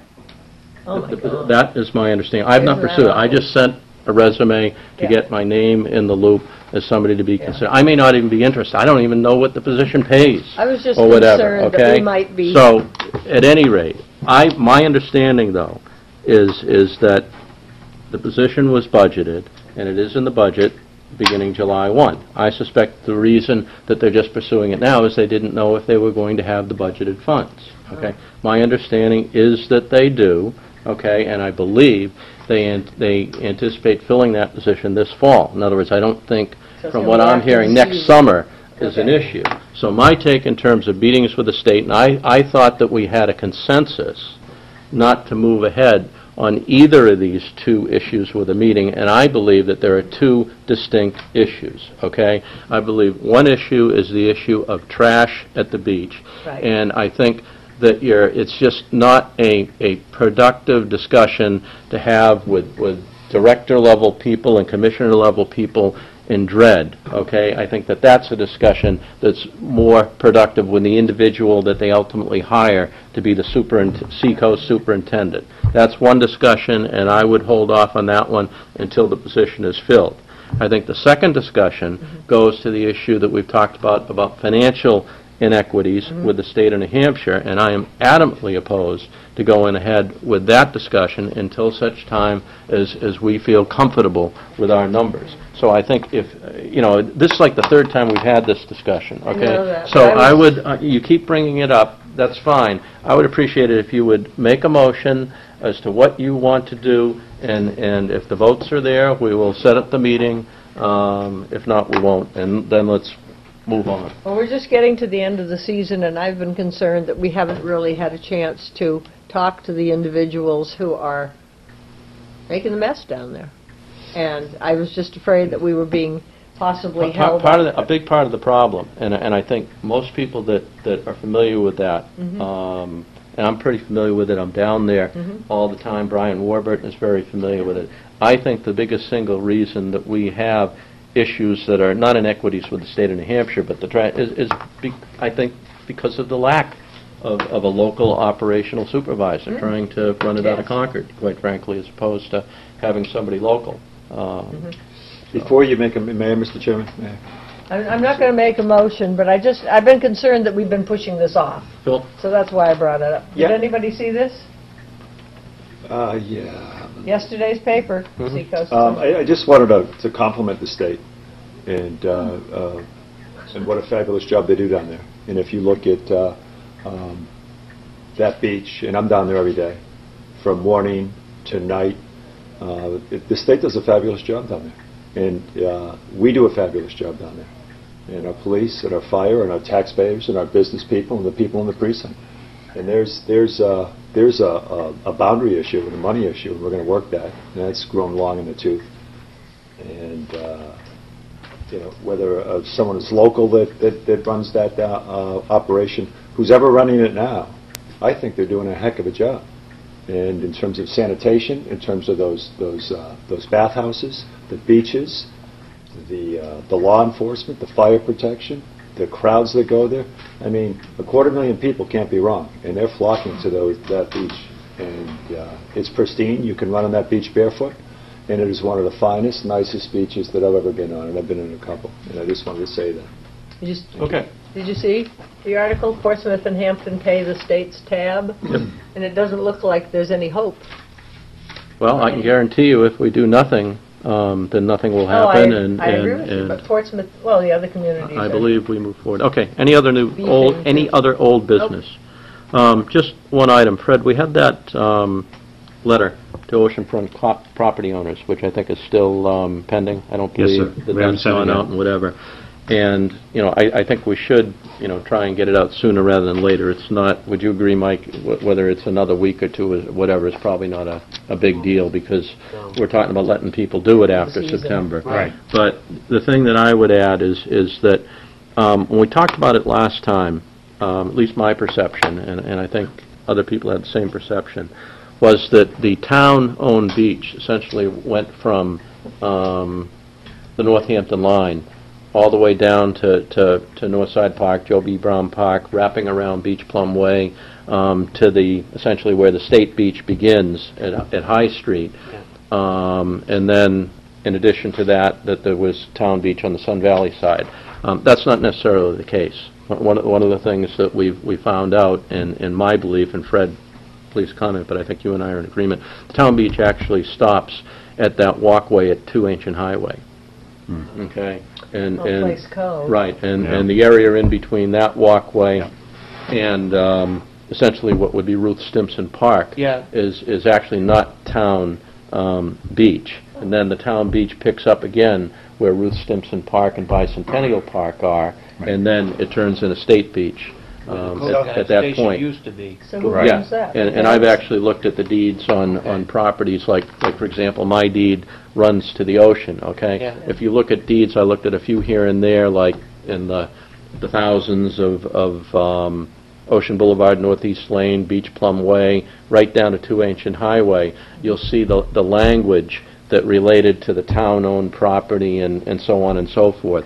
Once you get south of Two Ancient Highway, the deeds reflect that they own um, to the ocean, which is essentially to the mean high Mean high tide tide line, line or yeah. whatever. So, anyway, my point is, is that, and I think Sun Valley is, is yet, you know, a, a different animal. So Mm-hmm. my point in bringing all this up is I think we want to make sure that when we do that mailing, that we've, we've got the accurate information. Right. And, and what I just said is what I believe to be accurate. uh, The reason we haven't done it is because we want Right. to make sure we have that Right, information. okay. So what you're saying, and there's some properties along there, they own all the way to the water. Yes. That's correct. Yes. And the town doesn't own that little strip of sandy beach. And there Right. are some Exactly. along there, that's the case. Wow, I just thought we owned it all. Okay. Well, one of the problems, and I I not- did, uh, Except what the state owns. W- One of the problems, if you, I don't know if you've looked at the um, town's GIS system online, um, but essentially that that's, you know, a mapping system and and pictures or whatever, and that's actually inaccurate. And I think it's where most of my um, inaccurate perception came from. That literally gives you the impression that the town beach, um, you know, literally runs all the way to to where the state beach is and then beyond or whatever. That's inaccurate. I've talked to the assessor, assessor, he is now understands that or whatever, we do an annual update on the um, CAI GIS system or whatever, and he is going to fold that into that update such that the next revision, which is probably like nine months from now, So is being accurate. you own the land all the way to the water, we can raise your taxes. Because you own more land, it's more attractive. No? I I mean, that's a question for the assessor. Does, does, does somebody pay more? I was, I mean, I was yeah. just, I was just trying Okay, to watch let's- that. let's Go ahead. move The issue, the issue with that was the leased land from, from Joe Billy Brown Park. Yep. North was leased. Yep, Right. Oh. And when, when they set that all up and decided that they were gonna, s- the Yep. town was gonna deed that, they retained the rights. they, Yes. they sold, they could only sell what was stipulated in the deed. Yep. And it was laid out in feet and inches. Yep. So the breakwaters became on town property still, and the house lot was behind it. Right. Right. Because when they, when those properties were leased, the original people built the breakwater because it was leased town land Mhm. to protect their property. And then, and then when the town meeting voted to allow the public or the lessor Yep. to buy that piece of property, Yep. they could only deed what was in the measurements. Oh. And that cut the wall off on most all of those, or Well- all of them. What, what I can tell you, Mike, is I, I didn't look at, at every property, but I looked at, at selected properties like on Beach Plum Way and H and Highway, and, and I think I looked at one on James as well, and you see, I- that must have been leased land too, because you see identical language mm-hmm. related to the Yeah. town beach Yeah. on, on those as well, so I suspect it was all part of the same, There's a Scheme. whole street in front of those houses, on James and Shaw Street. Yep. The service, water service is out there. Yep, yep. You get out there to work. Okay, um, new business. We have one item under new business, um, Sherburne Drive drainage installation. Fred, do you want to go over that? Uh, Mr. Chairman, this is the result of a subdivision, which is Sherburne Drive. It was completed a number of years ago. Uh, The town, in agreement with the developer, took a sum of money, off the top of my head, uh, let's see. um, I think it was, 6,168. yes, $6,000, a little over $6,000. Uh, The way the system was designed, there are retention basins through the subdivision and some um, rain gardens through the subdivision. It's all wet in there. It is, it's, it's, it's it's a little moist. It's all wet. Um, Our concern was that at the, the, uh, um, the retention pond that's at the base of the subdivision, which borders Barbour Road, uh, should that happen to flood in the wintertime when it's frozen, the entrance to that, or the exit, the, re- the, the uh, the emergency drainage exit from that pond floods directly across the street into someone's basement, because they're at the same elevation. Uh, So we were concerned, that's the way it was approved, but there needed to be some way to take the water away should that occur, because otherwise we'd lose the road, they'd lose their home. Um, So we requested and received money from the developer to build a drain system along the front of that area to alleviate that problem, and that's what this is going to do, basically. Um, Uh, Fred, why are we being asked to approve this? I mean, this is small stuff. No, this is just for your information. I just, this, since this is a construction project we're going to do in-house, Yeah. uh, I thought it was advisable to advise the board what we're going to do, so you know what we're going to do, as opposed to, in hindsight, uh, just Yeah. start doing the work and not have you know about it. Say, what the heck No, is I mean, going I'm, on I'm there? fine with it. Do do you need our approval because we're withdrawing the 6168 We from the we do escrow? need your approval to close the road. That's the one approval we need. Can I ask if a couple of necessary. questions when you're ready, there, Mr. Chairman? Go ahead. Are you ready now? Okay, I'm a little confused about a couple of things. Not that I need to know all these details, probably not, but it says something about you're going to do 125 feet of the overall 900-foot project. I don't quite follow that on my map. We have enough funds to do the area from Mill Road Mm-hmm, down past Sherburne Drive okay. um, this year. And those are the funds that were given to us by the developer. That would, that would allow us to take into, there is a drainage ditch that's, that needs to be excavated in there that's now full. What about the rest of the blue line, Fred? Is Yeah. that- That, that will be constructed later. That's going to be a ditch for now. Oh, oh okay. So We'll what, pipe the driveways and so on and so forth and maintain them. so where does this 125 feet end on this map? Uh, The 125 feet is the portion that uh, the developer gave us money for. If you look at the corner, Yeah? um, as you come in off of Mm-hmm. uh, Mill Road, that, that, that manhole, that first manhole right there, it's right on a property line. Okay. From there down to the uh, second manhole, which is the Mm-hmm. next lot past Sherburne Drive, that's the 125 feet. Yeah. The portion from um, Mill Road to that manhole is, we have pipe for that in-house, we're going to do that in-house Okay. okay? And that will eventually alleviate some of the flooding on Mill Road. Um, Well, Then the- the second phase of this, uh, again, in-house l- next year, will be to go to the next manhole and then down to the, uh, uh, the grass treatment swale, which is next to the, So to the grass treatment swale is the 900 feet then, Yeah, from Mill Road to Road. that Yeah. swale? that's correct, that's the full length. Ah, okay, that was, I was... We just can't do it all in one year. Okay, now, so if we bring the water down from Mill Road down to about the entrance of Sherburne Road, where's the water going to go there in the temporary? It will go down an open ditch, and we'll be, we'll be culvertizing the driveways until we get that ditch filled in with pipe next year. And the ditch is along Barbour Road? It's in the roadway, yes.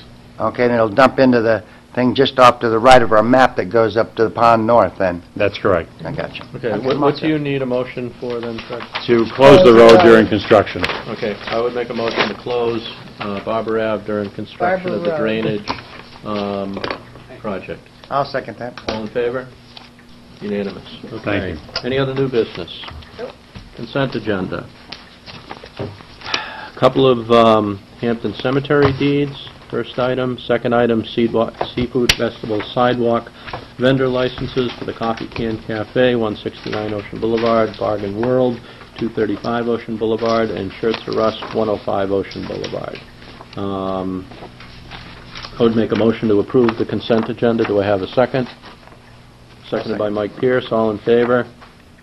Unanimous. Any closing comments? Yes, I do, and, and pardon me, Mary Louise. Uh, Mr. Moody has asked uh, me to extend and revise his remarks. On Friday night, the Hampton Community Band will commence at 1800 or 6 p.m., and he had said 7. So again, on Friday evening, the Hampton Community Band will, will commence at 6 p.m. Thank you, sir. Okay. Any other closing Yeah, I have comments? a quick question, because we've been provided um, with information from Diana Martin on Recreation and Parks on the information regarding the resident decal special program. You going to put this on the agenda for next week, or whatever? What are we I gonna- wasn't, um, I wasn't planning on it. I'll tell you what my response was, and if you want to put it on the agenda, we can. Um, I thought we were going to I- authorize whatever. I, I just simply asked um, that we be pro- provided a copy of whatever the policies and procedures or whatever were. Mm-hmm. I'll tell you what I did. I looked at it, and and I basically said, um, I'm not experienced enough to make judgments as to whether this, you know, method of of approving who is eligible and who isn't based on um, means testing or whatever. Right. If They were if talking about- Michelle, what I said to Fred is, is if Michelle Kingsley, because she's in that kind of business, is comfortable, then I'm fine with it. They were Um, talking about plowing people's driveways and stuff. and- No, not gonna do that. Not gonna do that. Yes. so- Well, I know, but I just wanted to I don't- understand I what don't- we're doing. One, I don't feel a need to have it put on the agenda, but if you do, I'd be No, happy I to put don't, it just, on. I just want to understand. I just we're wanted doing. somebody with more knowledge than myself to look at it and say, this kind of means testing, I do you know, have the some- five agencies and I whatever. do have something else you might want to consider talking about sometime, and I didn't know if I should bring it up tonight or not, but we've got to follow up on this, this school uh, SU United thing. Yep, Yeah. why I don't was thinking you, about bringing it up tonight, so... Okay, let's- Well, can- Before we adjourn, can I just suggest that, uh, means I'm on the cable thing and Mary Louise was on there before, that we set up another meeting and we can see where it is and find out from Mark what we, ca- what the choices are? I will put Bring it, that back to you Mike, guys. I will put it on a future agenda when it appears that there's information, um, you know, that makes You want sense to us- discuss. Yeah, but don't you think we should have a meeting, no, I'm not for this board, but for the, Why don't you work that with Mary Louise? Um, You're the cable committee rep, she's been the rep to that committee. okay, I'll do Okay, I that. would like to make a motion to adjourn, I'll second this. At 9:32 seconded by PM. Mike Pierce, all in favor? We're adjourned. Well, Um,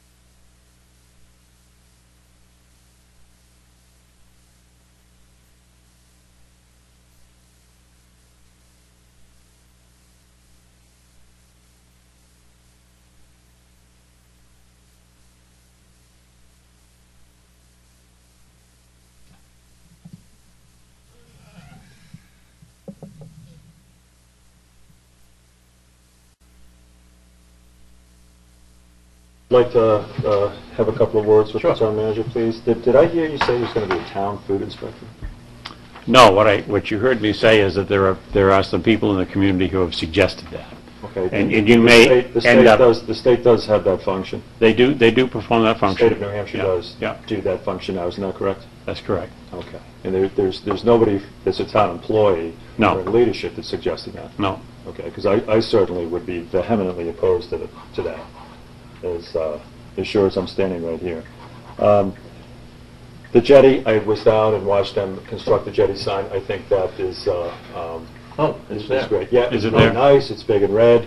Um, I was up in the White Mountains doing some ridge running this weekend. Uh, The White Mountains are some of the most dangerous mountains uh, in America, Uh, and they've got the mortality uh, statistics to back it up, but nobody closes the mountains when people um, get injured or uh, um, otherwise uh, get uh, worse than injured. And the uh, the jetty was full of youngsters with their families out walking. I ran out to the end of the jetty. I think that sign is uh, is a really wonderful sign. I think that covers our bases for being caution. I ran out to the end of the jetty. It did not say you can't run, so I felt that I could. um, and uh, when the lifeguards are gone, I'll be swimming back in from it. But uh, um, I, I, I appreciate the attention, and it, it is a it is a nice tourist attraction. It really is, and it's it's. Uh, in general, uh, used by safe people with their families, and they're very, very courteous, just as they are up in the mountains. And uh, to the uh, New Hampshire Parks Director, when you go up uh, uh, to the state, when you go up into the North Country, they, they do a fabulous job up there with the huge numbers of people that go up there, not just down at this beach, and the state does a great job. The Aquarion, I see Town Council in-house here tonight. Good evening, sir. Good Uh, And and going through you, Mr. Chairman, and uh, you, Mr. Welch, uh, I'd like to share some time uh, as we get through the summer with town council on the Aquarion issue. And as you know, Fred, you and I went up there, and uh, there was some some great testimony uh, by some of the commissioners, and uh, it would- it was unanswered by Aquarion. Aquarion's a great company, great water, but I think there's room for improvement and for us to get more on board and closer to Aquarion to address some of our needs as they take rate. Um, The 2015 healthcare, uh, I think that, that's interesting that that's being pushed back. I think the chairman has good points on uh, some, uh, some caution in new hiring as that goes to 2015.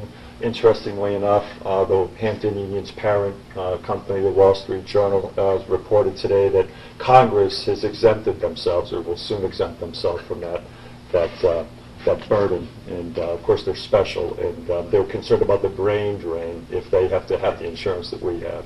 But we need to be aware of that here in this town as we go forward, because that, that is expensive, and that does involve part-timers, and we have to watch that. I'm especially proud of how the Hampton Police Department utilizes part-time employees for their surge in the summer, and uh, they do a magnificent job. They really do. The chief, the uh, deputy chief, his captain's lieutenants. And I think that, that's a real great model. Going to the fire and the, uh, the articles in the paper, there's some uh, um, disconnect uh, between the business owner and the fire department. I'm on the website right now.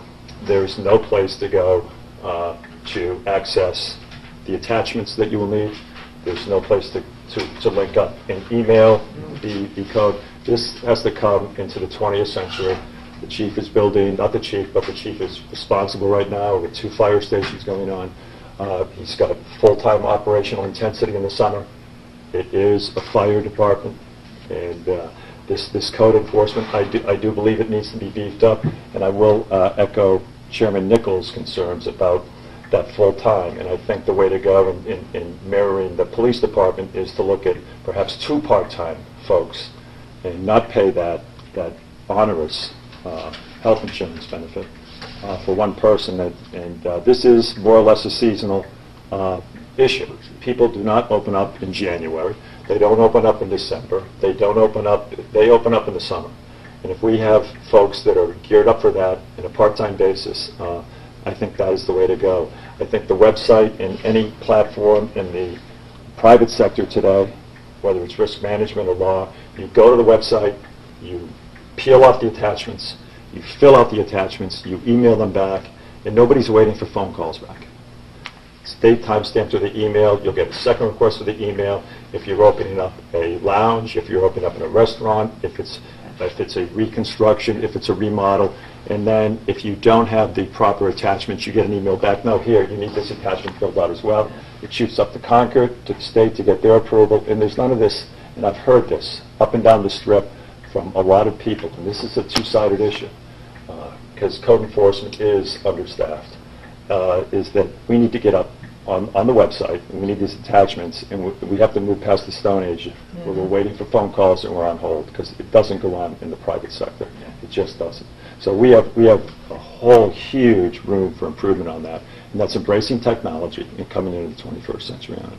And uh, I think that wraps up my responses to your report. Great report, thank you. Thank you. Um, Just, I'd like to comment on one of your items. Um, Don't be offended if you're out on the jetty and I just waved to you from shore. Um, I want to stick my nose in here for a second. On the jetty. We have the potential, once again, and we've already had two instances this year, of risking the lives of our first responders in an area that they really shouldn't have to be working in. And there may not be anybody doing anything exciting in the mountains in New Hampshire, but they're spending a heck of a lot of time up in Maine looking for that woman who's missing, who was hiking the Appalachian Trail or whatever by herself. There are dangers in a lot of these areas, and I would like, at least locally, to mitigate what we can and keep, uh, I don't know, I guess the insurance business, Phil, would call it an attractive nuisance. Okay. He's ignoring me, that's all right. Old business.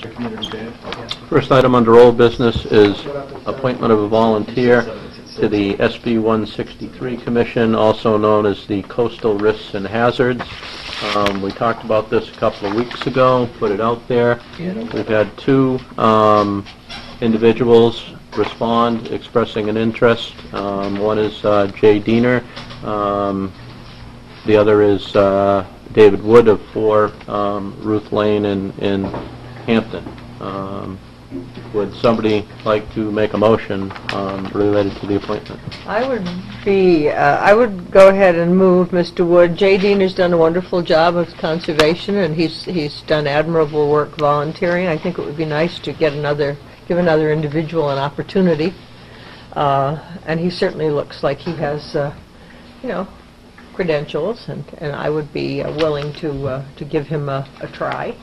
So I will so move that we appoint uh, David Wood of 4 Ruth Lane as the volunteer to represent Hampton on the New Hampshire Coastal Risk and Hazard Commission. Um, I'm not hearing a second. I would comment. Um, Is there a second I- to the motion, so it can be I'll discussed? second it. discussion. Um, I, you know, I'm not going to vote for Mr. Wood, nothing against Mr. Wood whatsoever, but Jay Diener, um, in addition to um, being the Conservation Commission Chairman, has been actively involved um, with a number of other entities associated with uh, coastal um, sea level rise. Um, Matter of fact, I've had probably 10 or 12 conversations with Jay over the last couple of years um, on the subject. Um, So that's, that's my feeling. Any further discussion? I was just looking at the emails, Mr. Chairman, and uh, I I know Jay Diener really well, and I know he's involved with the Conservation Committee, and he's also involved with some other things, as you pointed out. On the uh, the flip side of that is, um, I tend to um, see a different point that possibly it might be good to bring in some new uh, personalities into the mix, uh, because Jay's, I like Jay real well, I, I'm not saying anything bad about Jay, period. I'm just saying that, you know, um, he's involved with quite a few things here, and I think that, um, he's involved with that, he says he's the president of the newly formed Seabrook Hamptons Est- Estuary Alliance. He's the chairman of the Hampton Conservation Committee, and he's been involved with a lot of things, and I really appreciate all of his efforts. But this, uh, having Mr. um, Wood come in, we'll get some new blood into that uh, uh, little circuit. I, I think there's some reason I think that that might be a good idea to support Mr. Wood. Okay, any further discussion? All in favor? Opposed? I will abstain. 401 with myself abstaining. Okay. Next issue is something we discussed several weeks ago. Mark's been looking into along with Fred. Mark, did you want to um, address the uh, no-through trucking issue? Yeah, the uh, impetus time employees' health insurance that we were concerned about. Um, The sidewalk maintenance issues are going to be before the board on uh, this month, on the 16th, for your regular meeting, and the winter maintenance plan will be before the board on the 23rd this month uh, for your review. Uh, We also uh, have completed, I think, the access, the the south jetty, at least DR, uh, DRED has- has has completed it on on 8/5 with their announcement and press release. My understanding is they're not going to block it off, they're just going to put the sign up. Do you have any time frame on the signs? I don't, uh, nor do we have the description on the sign uh, as of yet. But I understand they they have prepared them and they're going to put them up soon, so. Any penalties stipulated on the sign? There are no penalties in the DRED regulations for anything on the beach. Their administrative regulations contain no penalties. The, the sign does not prohibit people Right. from going on the jetty. It simply warns them of the dangers. It's advisory. So you couldn't have penalties without a- Right. a prohibition. Right. And they don't have uh, any penalties in their regulations, so it would take 18 months to two years to get those regulations changed, so it'd be quite a long period of time before we could see any of those. I don't know if you want to um, have us send another letter to DRED regarding that and fencing off, or if we want to leave it that way for now. I I mean, I think it's a step in the right direction. I personally would have preferred that it be, you know, blocked off and, Yeah. and, you know, whatever. Um, One of the things that, you saw the email I sent to the chief, but one of the things that, that bothered me about it is, is all, you know, state parks have risks associated with them. When you go in the water, you're risking, you know, rip tides. When you go rock climbing, you're risking things. But the thing that bothers me about the jetty, and I'd certainly prefer to, to see it blocked off, is, is simply, that's not part of the mission-critical attraction of Hampton Beach. Right. It's, it's the beach, it's not the jetty. But I, I, I- my suggestion would be that we take it a, a step at a time and just make an inquiry as to, you know, when they anticipate having that up, and we'd appreciate it sooner rather than later. I'd be happy to do that by email if you like. Sure. Okay, what else you got, Fred? That's it, sir. Okay, uh, questions for Fred? Um, yes, Fred. Yes, ma'am. The, the asphalt that was reported in the ocean that you um, surmised might have been from the breakage of the town's seawall, have we managed to find it, or? My understanding is that they, they cleaned up what they could find. Oh, Asphalt or concrete? No, it was asphalt. Asphalt. Asphalt there's from a the big wall? pile of it. Well, behind the wall. In the sand. uh, When we had that last storm. Right, right. uh, It broke that asphalt up back about three or four feet from the wall, Mhm. and somehow it got out, I think it went underneath the wall, but, because we had a large sunk hole in there, Hmm. and ended up on the, on the, some of it ended up in the beach. I Pulled think the rest of it's buried, Yeah. Uh, but we, we cleaned up what we could find that actually Some- was in the water. Some of the beachgoers Unless somebody noticed threw it over. Yeah, no, I, I- at low tide. I'm just And I trying had to, a fig- I can complaint. understand cement, I was trying to figure out how asphalt, that, uh, whatever. Well, I It was got- from the, it was from the parking in the side, of that Yes. area that's all paved on the other side of the wall ridge. I got the compl- complaint, you know, from a, an individual who's up there and called Fred and, Okay, anything else, or? um,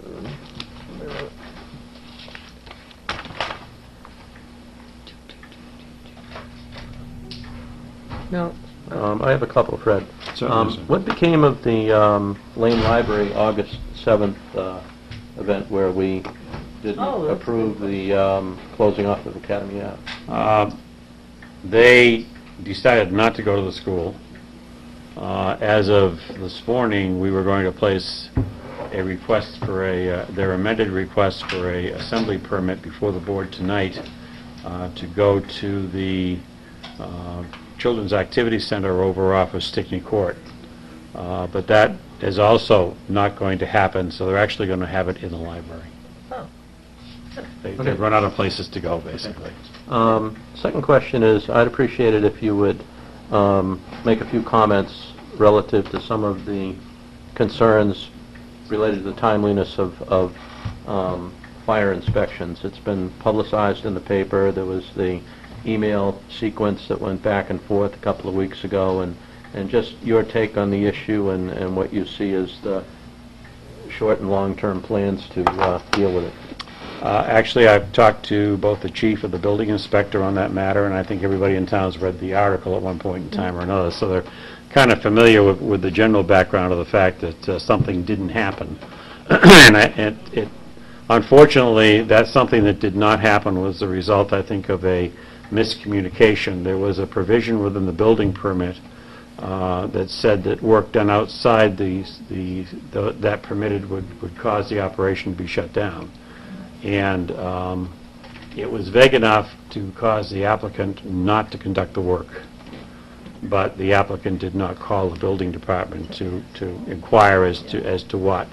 Um, I know the building inspector has talked to the applicant several times. I know that the fire department has talked to the applicant several times. They seem to be in harmony at this point. Uh, There are no outstanding permits, there are no outstanding issues. Uh, I am going to meet with the applicant tomorrow sometime during the day, subject to call, uh, probably in the afternoon. He's indicated he'd probably come in the afternoon. He's- He's flown up from Florida for other matters. Um, And and we'll be able to sit down and have some discussions. Uh, One of the things I think that's, that's, uh, and I know the board is going to address this as we go through the budget process, one of the things that's interesting is that uh, we're receiving record numbers of permits, both in the fire department and the building department. And um, they're stripping to some degree our capability to keep up with them from inspection standpoints and, and to do the work. Uh, The fire chief has submitted in the budget a request to put the second inspector back on. And I have not taken out of the budget because I think the board has to discuss this to determine what should really be done in that area. Uh, I know that you're going to get a potential request um, for inspection matters, um, for health inspections uh, for food. Because there, there, there are a group of people in the community who have expressed interest off and on during the past year to hire an inspector strictly for food inspection, inspecting restaurants, issuing licenses, what the state does now. um, And that's something that may come to you for exploration. And charging a fee. Well, the fee would have to take up our total cost. I mean, there's just no way of doing this without taking up our Right. total cost. Uh, As far as the, the fire inspection matters are concerned, uh, the chief has told me that we really do need the second inspector back uh, if we're going to continue to have the types of inspections that we're doing now. Uh, We did look at the opportunity to perhaps put on a part-time inspector who worked for the fire department before, but those people are all pensioned. They Oh, would yeah, lose their pensions. So that's sort of out the window at Yeah. this point in time. Um, We'll have to address that issue, but I, I think right now, we're, we're back to ground zero, and we're standing on firm ground. There are inspections that are going to be delayed uh, simply because something's not finished, or something isn't scheduled. Uh, And, and I know that we had talked about the inspections uh, at another building that's being built down the beach. Uh, It turns out that, at least from the commercial component of those buildings, uh, that matter was handed over to the new owner of the commercial enterprises. So the, the uh, the developer was not responsible for that, it was in the paperwork that was exchanged, and we've straightened that out, so that's, that's been taken care of. Uh, we- As soon as we found out about that, we, we took care of that within two days. The inspections were done, and the places were allowed to open, so. um, We are keeping track of every inspection and every, uh, every application, uh, the time it takes for the inspections, when the notices are received, and there is a a lengthy uh, 20 or 30-page report on the inspections that are currently ongoing, and I think some of you have seen that yeah. report uh, during the past year. So we're keeping track of those on a daily basis to make sure that we have uh, answers to questions about what's going on. The other thing is, I think people should understand that when they call the fire department regarding inspections, the number, if you call the inspector's number, uh, that's being forwarded automatically to the clerk. There's no cell phone, uh, there's no uh, answering phone Right. on his telephone anymore. It goes automatically to the clerk for answer. Uh, If she's not there, it is on a recorder on her desk, and she answers it that day or the following day. If she's not, and it comes in after, after hours, for instance. So we're tracking every one of those as well, to try to make sure that nothing falls between the cracks. Hopefully, that's going to work If I temporarily. can just quickly summarize, number one, I would appreciate it if, if um, you let me know when that meeting is tomorrow Yes, with, yeah. with um, Terry. I'd like to Yes, attend that. Um, second is, I think I heard you say that we're essentially caught up at this point, That's my understanding. okay? But, but that, that you and the fire chief believe that there's a necessity to fill the fire inspection position in relation to next year's budget. Yes. Um, One thing I do know is, is if we do that, it's basically a hundred thousand dollar Unfortunately. by the time you get done with benefits. And I would really like to see, and I won't go into a lot of detail because I've had this conversation with both Fred and the fire chief, I'd really like to see the metrics that, that lay out the increase in the level of workload in that department, perhaps comparing what went on in 2000, whatever, a few years going back anyway, 2011, 2012, and what we're experiencing um, this year. And, and the second thing that, that I would like to see us do is, is make sure we're looking long and hard um, at alternatives, okay, to, to providing additional resource. I mean, let, let's face it, the, uh, I'm far from an expert on it, but I do know that the, the, the nature of the job of the fire service has changed over 20 or 30 Oh, yeah. years. I, I think there was a lot more time spent fighting fires 20 or 30 years ago than there is today. There's probably a lot more time, I'm sure, on, on um, EMS, ambulance Mhm. type stuff than there was, you know, back then. But to some extent, um, that the nature of, of, of the beast is, is you have to have people that are available. We have anywhere from seven to nine people available on any given shift, okay? You have to have people that are available should there be a fire that you have to respond to. And I'd just like to be sure that we, we look into, you know, recognizing that it could involve education, it could involve, you know, buy-in from the unions or whatever, that we look at, at, at what the alternatives might be um, in conjunction with leading up to the chief's request in September when he, whenever he comes in for his.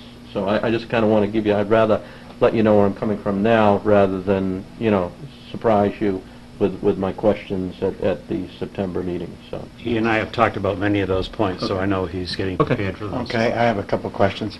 Um, One of the things that concerned me from what I could see about this thing with the inspections was, it seemed like to me, without knowing any of the details, there was a lack of getting back to the customer. Mhm.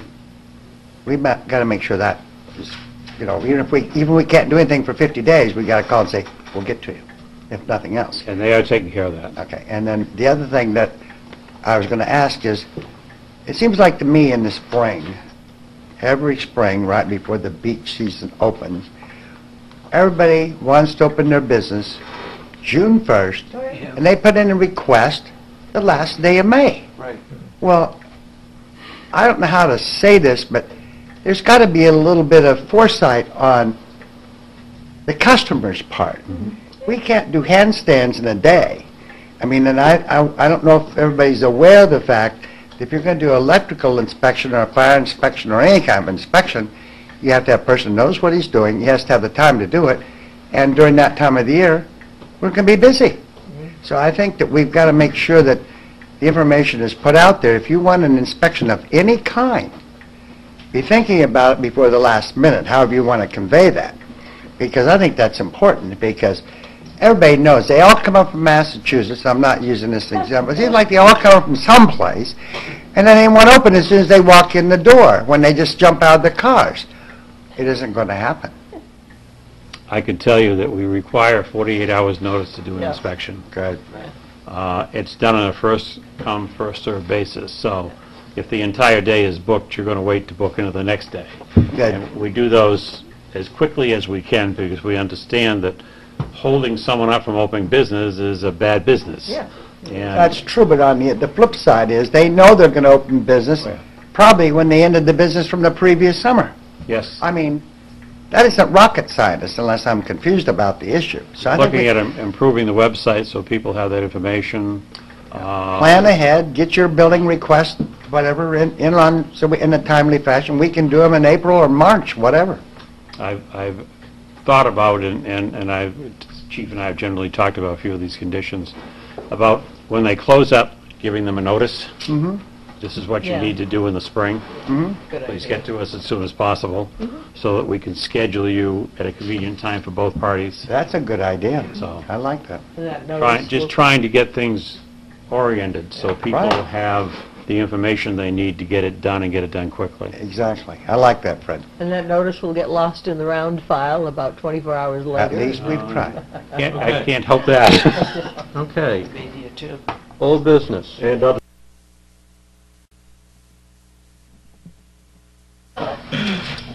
Okay. Approval of minutes, I will July 22nd. So move that we adopt the minutes of July 22, Can I ask a question? 2013. Um, One thing that you've been doing this Yes. year is, is before we even discuss the minutes, adopting, uh, making a motion to adopt them. That's why you make a motion, so people Can I can finish? discuss it. Can I Yeah. finish? Okay. Um, However, we're amending the minutes as we go through. Yes? So it would seem to me that we should be um, adopting the the minutes as amended, as opposed to just simply adopting the minutes. Well, that's all right, you're amending during the discussion, and then when you're finished the amending during the discussion, we vote, and then the minutes as amended are... But I I think what we're not doing is, is there's nothing in a motion that's accepting the amendments. But I don't know if there are going to be any amendments when I make the motion, but as our discussion... Why don't we make the motion after we go through it? After- Well, that- why that's- are you discussing something without moving it forward? Aren't you trying Gotta to, put it on the table. aren't you trying to move something to put it on the table so you can talk about it? I it? don't think it's written anywhere you have to make a motion before or after necessarily. You can do it whenever you want to. I I just, Um, my I don't my go reason with for that. for bringing it up is, is it's a change, and I don't see how the change addresses the issue of accepting the amendments that have been proposed by individual people. That's my point. Well, once you vote to make the changes, then you have set the changes in place, and then you are free to vote yes or no on the Okay. motion. If you I I don't will, like the changes, at at the vote end of no. this, I will make another motion then to accept the amendments, uh, As so, amended, minutes as Yeah. amended. okay, page one. Page two. Page two. Yes. Um, third paragraph down. Board members Pierce, Woolsey, and Nichols discussed the following with Mr. Schweitzer. Asked about money that has still not been cashed. No, that's the LGC check that had not. We were wondering whether or not that had been cashed. To the best of my recollection, he had just been holding it. Yes, the And LGC. then, um, distribution process has been agreed upon by the unions. BSR is the Bureau of, it's the Bureau of Securities Regulation, plural. On page two, second paragraph down, third line, it says dealing with first half of 2011, which almost implies like the first six months, it was actually 50% of the 2011 credit. Uh, Fourth line down has the word accepted, E E-X-C-E-P-T-E-D. Oh, yes. It's accepted, A-C-C. Oh, yeah. Um, the one, two, three, fourth paragraph down, um, I would add a sentence to that, the, the the paragraph that basically says, it talks about Mike Schweitzer, and he said he would recommend booking the, the money to revenue and explained why. I believe that we had a consensus, um, at that discussion to book it to revenue. Yeah. So I would just add, um, there was a consensus by the board to post the town portion, not the employee portion, obviously as revenue. Right. Page three. Page four. Page five. I would just add on, um, about the 12th line down or so, it says concerns with the number of 6.9 million. I would just add to that being too high. That was what the concern was. Page six. Yeah, on page six, on the first paragraph, at the very end of the first paragraph, it says, violate the purchasing poli- policy, and this is time number five. I think we can just leave the word out, the word time out. Time doesn't seem to add anything to the pizzazz of that paragraph, because I don't remember saying time. Anyway, uh, that's all I have on page six. Okay. I have one, two, three, four, five, six, paragraph six. Selectman Woolsey provided her Should be per. Page seven? Yes, on the page seven, I'm, they're t- talking about the the Thresher Memorial, and it, uh, they have uh, listed four crew members. The correct um, number there is three. Yeah. And there were three from Northampton too, but I don't know if we need to have those in the minutes, but I did say that also. And further down, it goes into the same thing. Uh, That's about the middle of the page. It says three Hampton, four Hampton residents, should be three again. That's all on, for me. Okay, and uh, page seven, page eight. I guess if we're going to cover the amendments now, we need an amendment to the motion, because, Why? We've just discussed the amendments. We've discussed the whole minutes. because And you we have don't made know... some corrections. Boy, in I the I don't want minutes. to, I don't want to get into a barn burner on this, but we don't, when, at the time you made your motion, the amendments are unknown. How can you vote to But you're approve something? Can I finish? Can I discussing. finish? But How, Richard, how can you vote to approve something when you don't know what it is? We don't know what that's the why amendments, you discuss it. okay? And the final product of the discussion is incorporated into the vote. I would think the motion would have to include the amendments that were proposed. withdraw my proposed. motion, you can do what? Okay, I would make a motion to approve the minutes as amended. I'll second that. All in favor? Opposed? I'm going to abstain. Abstained, fine. Okay. July 29th, non-public minutes. I would make a motion to approve them. I'll second that. All in favor? Opposed? I'm going to abstain. Abstained. You vote in the affirmative? Yes, sir. 401 with Mary Louise abstaining. Okay, town manager's report, Fred? Mr. Chairman, members of the board, the State Department of Resources and Economic Development has issued a press release indicating that they will place a sign at the Hampton Beach jetty advising people of the danger of walking on the jetty. 20 Uh, years too late, 30 no. years? Interesting response to a prior problem. Yes. The Aquarion Water Company has filed for an additional rate increase for Hampton residents, designed to recover their costs to prepare and present their case uh, that was just granted general, uh, for general and and WICA rate increases. I believe that uh, something, is something in the area of forty to $50,000 additional rate increase for residents in the town.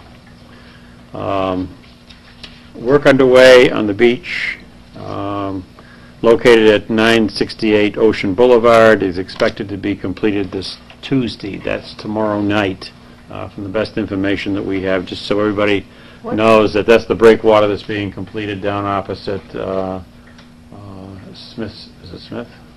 A little bit, uh, so- a little bit north of Cusick. Yeah, a little- Yeah. yeah. Oh, Uh, That work is scheduled to be completed tomorrow evening. So people have been asking, what's happening, when is it going to end? And and it's, it- we're being advised that it's going to end on Tuesday evening, so, just so people know.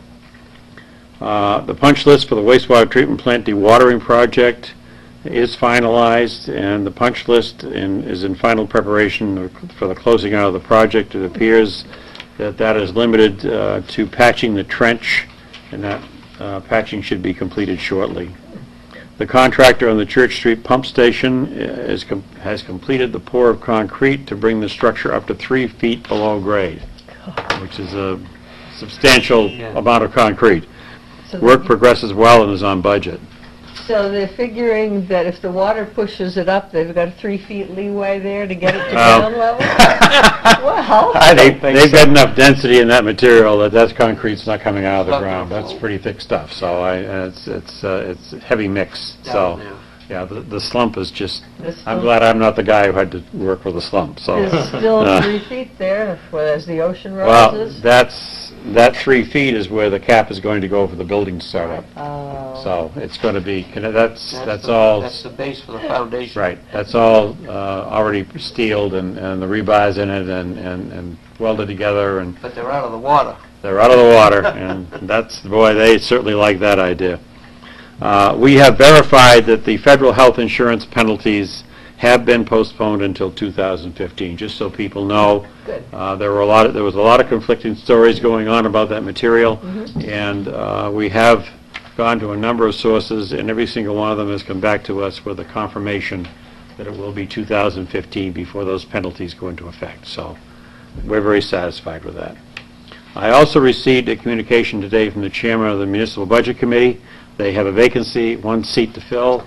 Um, Anyone interested in serving that committee should contact Chairman Latimer or send a message to the town manager's office before February, s- Friday, February, uh, excuse me, February, September 6th. Uh, I want to wish the wor- the the year away too quickly here.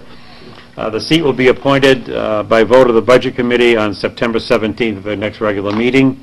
The appointment period is from 9/17/2013 to 3/11/2014.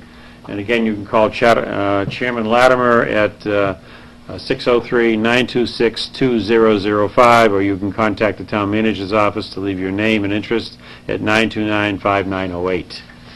Um, Just a couple of things, Mr. Chairman, we have, I I already covered one of them, that's the part-time employees' health insurance that we were concerned about. Citizen uh, Community Calendar, Mike? I have nothing, thank you. Bill? Uh, Yeah, I'd just like to say I'm really excited about uh, the 375th birthday of one of the greatest towns in the greatest state in the greatest country in the world. And uh, oftentimes, despite the effervescent and stimulating and highly intellectual conversation that that transpires at the board, I will be looking at at, uh, town reports that go back hundreds and hundreds of years. And there were some remarkable people that have lived in this town and built this town going back to 1638. And those that lived here before uh, it was incorporated. And they didn't live the lives that we did. They didn't live the uh, the luxury that uh, even the most impoverished of us do. Uh, and uh, it, it really strikes a, a, a chord in your heart and your soul to know what great people have lived in this town. And in the middle of summer, for the town to recognize that is fabulous, for the governor to come down, uh, for senators or whoever comes down. But to uh, participate in that, our family at our, our family home is going to have a party. Uh, It's, of course, it butts what is now wetlands, but used to be part of the, the Toppan Farm and the march down to the cemetery and back of the churches. And it's a very exciting weekend, and I know that uh, a lot of people have worked hard, and there's Experience Hampton, there's the Hampton Village, uh, the Hampton Beach, the uh, the precinct down there, the selectmen, those that uh, started this, this project, and those that have carried the ball. And it's going to be an exciting weekend. I look forward to seeing everybody out there. Thank you. Okay. Mike? I'm all set. Mary Louise? Yes, for those of you who've been watching Channel 22, and even if you don't watch Channel 22, please tune in. The Public Works Director has obtained some films from the state of New Hampshire on dams, and we're going to have a big decision to make in this town fairly soon on the dam at the old grist mill.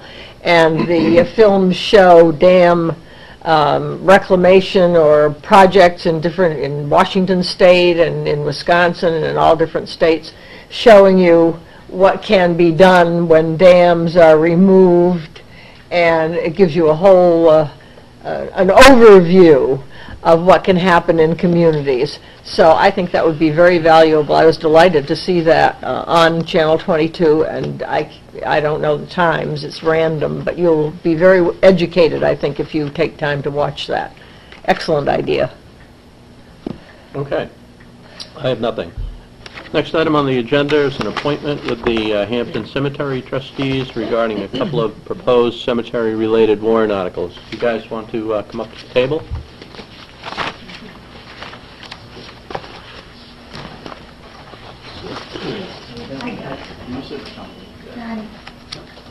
You guys are old, I'll sit here.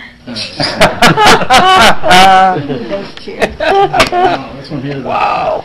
That's six to one, this No fooling around there. I feel better. Okay, um, to get things started, I'll just turn this uh, right over to Fred to give a little bit of the background information as to why we invited you um, tonight. Thank you, Mr. Chairman. Uh, I think probably, just, I'll just go back and recant what we uh, had explored and and what we suggest the solution to the problem is. Um, The commission sells cemetery lots to various residents of the community as they need them, and uh, as that occurs, a deed is prepared, and the funds that pays for the cemetery lot comes into the town hall, goes to the finance department. Uh, The funds are then put into the general fund, because they're received as, uh, under the the state statutory criteria of sale of town property, which is in essence what they are. Uh, The deed is in process through the Board of Selectmen. In fact, we have a couple to do this evening under uh, the consent agenda. At the end of the year, if the board feels so disposed, what happens is we add up the sale of all those cemetery lots and come up with a figure. If the board is disposed, then we write a warrant article to have those funds transferred to the town trustees and put into investment sometime during the following year, after town meeting votes it. Uh, One of the things that, that concerned me, and I know concerned some of the others as we were talking about it, was the fact that this process can take as long as two years, depending on when the lot was sold. And that's a long time for that money to wait to go into investment, start earning interest. So, when I started looking at this, I started looking at the statutes, and uh, as, as you know, uh, Chapter 287 of the statutes governs the control of cemeteries in cities and towns. And the thing that stuck out like a sore thumb was the fact that there's no process for those funds to come back to the cemetery at all, which I think is wrong, basically.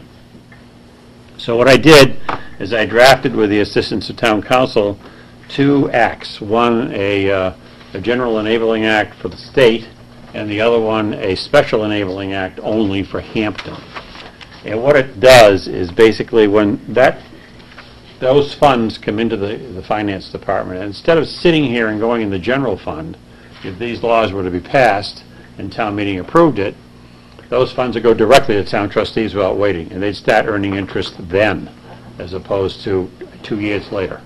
And I think that's important from the standpoint of, you're going to have more funds, they're going to earn interest earlier, and the fund is going to grow, uh, so that you can do more things in the cemetery as time passes. And that, the net shell is, is what this is all about. That would be nice. You change. I think Comments, or? The only question I had was, um, when I read through the, uh, the act, an act, it uh, has an and/or, or it would be uh, deposited in either the general fund or as sale of town property, or directly deposited into the town trustees of trust funds. Why do we have to have both of those in there? Why, why wouldn't it just be uh, directly deposited to the trust? It's up to town meeting. It's up to town meeting, we don't dictate that. Uh, In order to allow the act to be accepted, it has to go through the town meeting process. Unless, of course, um, it's a general act, and, well, it would be in the general act, too. The town meeting would have to, uh, annual or special town meeting would have to approve the fact that you're doing this. And there has to be a mechanism under which it could be uh, rescinded, because we have no way of knowing what the legislature is going to do 50 years from now. Yeah, the total Um, this year. There's a safeguard there, so the town meeting can do something else with it if they need to. But without that, there's no way to, in fact, do anything without going back to legislature and going through the whole process all over again. So The intention would be to Either put in the it, general fund or directly deposited to the trustees of the Right. trust fund. The town Why- meeting- Why wouldn't you have just put directly deposited to the trustees of the because the trust current statute requires it to go to the general fund. fund? Okay. So the town meeting would have to change that process. And and this in Choose. itself, um, the, the state level legislation doesn't do anything without a subsequent town We still do it now, we do it now, and, you know. Right. I mean, what happens if the town votes, you know, I- it's never happened since I've been, I've been 17, or 18 years on this thing. We've never voted against that. I don't think you ever will. I've never seen a town do that. You know, what, what is the alternative if that happens? Whether the fund stays in the general fund of the town. Yeah, Well, actually, actually, last year, the thing that prompted Fred on this is last year, there was no warrant article, so the money just basically stayed in the general mm-hmm. fund Right. Right. and didn't get transferred to the cemetery. And so, you know, we, we looked at that, and then Fred came up with the timeframes. I have a question, Fred. I understand on the timeframes, the 15 months, to 24 months, or whatever. I can see, like, for example, let's take 2013, we sell a tem- cemetery lot in January of 2013. Town meeting doesn't approve the transfer until March of 2014, okay? And then presumably in April, you could move it from the general fund into the cemetery. So I can see the 15-month time frame as the long end, but how does it get to 24? Well, it depends on when the town wants to move it. Usually, we move it uh, as we receive the new tax bills in, which is in June, because that money's We're, we're running on the school Okay, department's okay, operation okay, until okay, June, so, okay, okay. uh, we move it in June if we can. If somebody forgets, it gets done in December when the second tax bill comes in, so it could be as long as 24 months. Now, in order to enact this, this has to go to the state and, you know, it has to be, so how long, this is for 2014? Yes, This won't be acted on until next year. that's correct. And then it takes 90 days or something like that afterwards? Well, before- they they can be effective upon passage Right. or whatever, but I think that in terms of Hampton, even if, you know, one of these two pieces of legislation passed, it wouldn't impact, impact Hampton until we had a subsequent ordinance in 2015. That's correct. How many would have to approve it? So, So the only thing when I looked at this, I know generally it's between fifteen and twenty thousand dollars a year Yeah. that we're talking about here.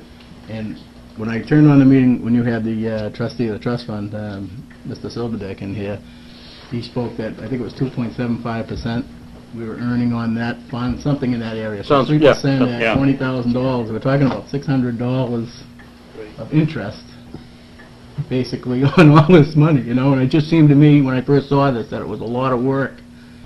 You know, but I understand that this money's hanging out there, but Right. it's kinda like getting paid every other week to me. You know, you still get all your money every other week, but I, I understand, you know, in the future here, we could be getting seven or eight percent interest in this It's money. So possible. it could make a big difference, but Yeah. But I think one of the beauties of this is that it's automatic. We don't have to have a, a warrant every year, and that it would takes... take one more thing off of the the Yeah. warrant Yeah. article. Right. Is that, Less, one less thing for us to fuss about. These are just some of the questions that we were, you know, wondering about on that part of it, you know? I Well, don't- doing it automatically, which I think is the right way to do it, it just gets it done. Nobody worries about it at that point. It's done mm-hmm. automatically. The money will stay just like, I mean, it's Like it gonna- does now. It's just gonna go right into the fund as Right. it is. Exactly.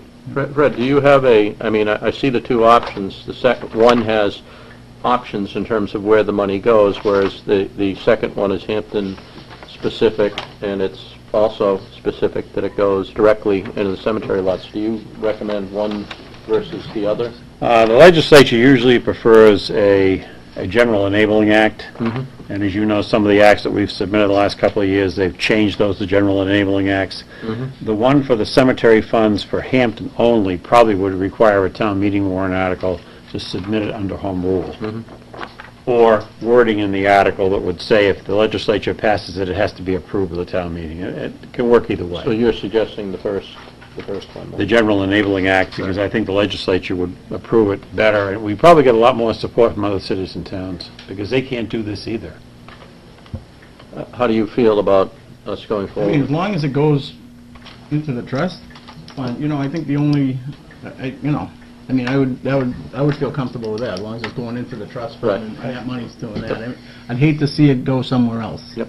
Okay. Yeah. well, When I that- saw that- general fund in there, I didn't want to see all this stuff Yep. getting shoveled off into something else. That's where it That would goes be by an now. issue when we come around to the following year, you know, with a warrant article. I personally agree with, with what you just said.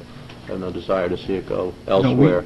We don't really get into, unless we really need something in that money, but you know what, um, I know when I turned on the meeting that, when you had Mr. Silverdeck in here, the, um, you know, there was talk about the fund and what things, you know, and what was gonna happen with that, and, and there was some talk about, you know, how, if you're ever gonna have to buy land, you know, for the cemetery and that, and, you know, we talked about it at our last meeting and that, and, you know, I don't think we're ever gonna have to buy land because it's people. Okay. people That that was my cremated question, is now. there like, Cremating and, and everything's getting smaller down. Maybe someday you'll have to build like a mausoleum, or somebody will build a mausoleum somewhere. I think in the future, that's what's gonna, it's gonna be all about, you know? But it sounds like right now, it, it it looks like the land is going to support I mean, unless there's a, you know, definitely. A horrific disaster, and it's not gonna affect any of. I mean, none of us here will ever, you know, and, and our kids will never see the end of that For what it's worth, what kind of indirectly relates to it, which I mentioned this to a couple of people last couple of days, I've been surprised, but the 2000,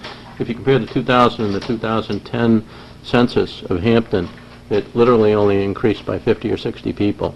I I mean, virtually, I mean, whatever, .1 or .2 percent, which, um, as opposed to if you were to compare the census- census, for example, from 1990 to 2000, there was some, I don't remember the numbers, but there was some very substantial um, increases in population, so. um, Is the board in sync in terms of this first of the two I articles, have or? questions. I assume you are going to let us address it. Sure. Um, Are, are we fairly comfortable with, instead of the Hampton-specific um, suggestion, to go with the generic suggestion? From what Fred said, it sounded like the smoother Sounds like the path to generic me. one ad- adapting the state statute to cover any town who wants to do it would be sensible? Is that your, That's what they've been basically doing. We submitted a couple of bills last year that was specific to Hampton, yeah, and they changed them to be general enabling acts. So oh. yeah, well, they kind of give you a clear message when they do that. yeah. Um, Because the one that was drawn up for the, for Hampton specific had a lot of grammatical errors in it, but I'm going to ignore that for the moment. Um, Focusing on the one for, to be enacted by the Senate and the House of Representatives. Um, I'm still, as I read this, not understanding that, that this will enable a town to dispense with an annual warrant article. How, and you need to get rid of the by on the bottom line. A town may vote to change between the purposes contained in this subsection. Um, If cemetery lots are sold, a town shall determine by vote of an annual or special town meeting that the funds received from such sale shall be deposited. Does, so does that mean by a single initial meeting that you'll lock this in? Yes, That's how I would construe that? yes. Okay. My other um, thought is that this doesn't tell me the time frame, And I believe the trustee's point was well taken, and I share that. Once the deed is, is set up, once people apply for purchasing the property, and the deed is signed and the check is submitted, how can we guarantee that that check will immediately go without any lag, without any holding, without any once a year, that that particular check for that particular transaction will go straight to the trustees of the trust fund so it can start earning interest? It says shall be deposited. So that, That's the only place it can go. It cannot go in the general fund if you vote it. right, so there's no holding checks or no, it will go right in. Okay. Um, You know, I, cur- currently, I think one dollar of every, every lot sold over there goes into, the general. uh, Well, goes into the actually, general fund. All of it goes to the general fund right now, and what we do is, uh, we don't separate out the dollar, because we've been using that money all year, to defray taxes the whole t- 2,000 or whatever dollars. Um, At the end of the year, we simply add up all the sales of those lots and put that in the warrant article. We don't deduct anything from it. So with, so this would be the mechanism having enhanced the state statute Yes. to protect us by means of one single warrant article Right, whenever we right. can do it, um, to get this in here. I, even though you're optimistic about fitting into the existing cemetery, uh, there is just X amount of land there. Once that's gone, there's not going to be any more sale of lots in that area. Um, I would like to see that trust fund protected, basically in perpetuity, and have the interest, and as you say, the interest will go up, interest will go, I mean, someday it might be 20%, who knows?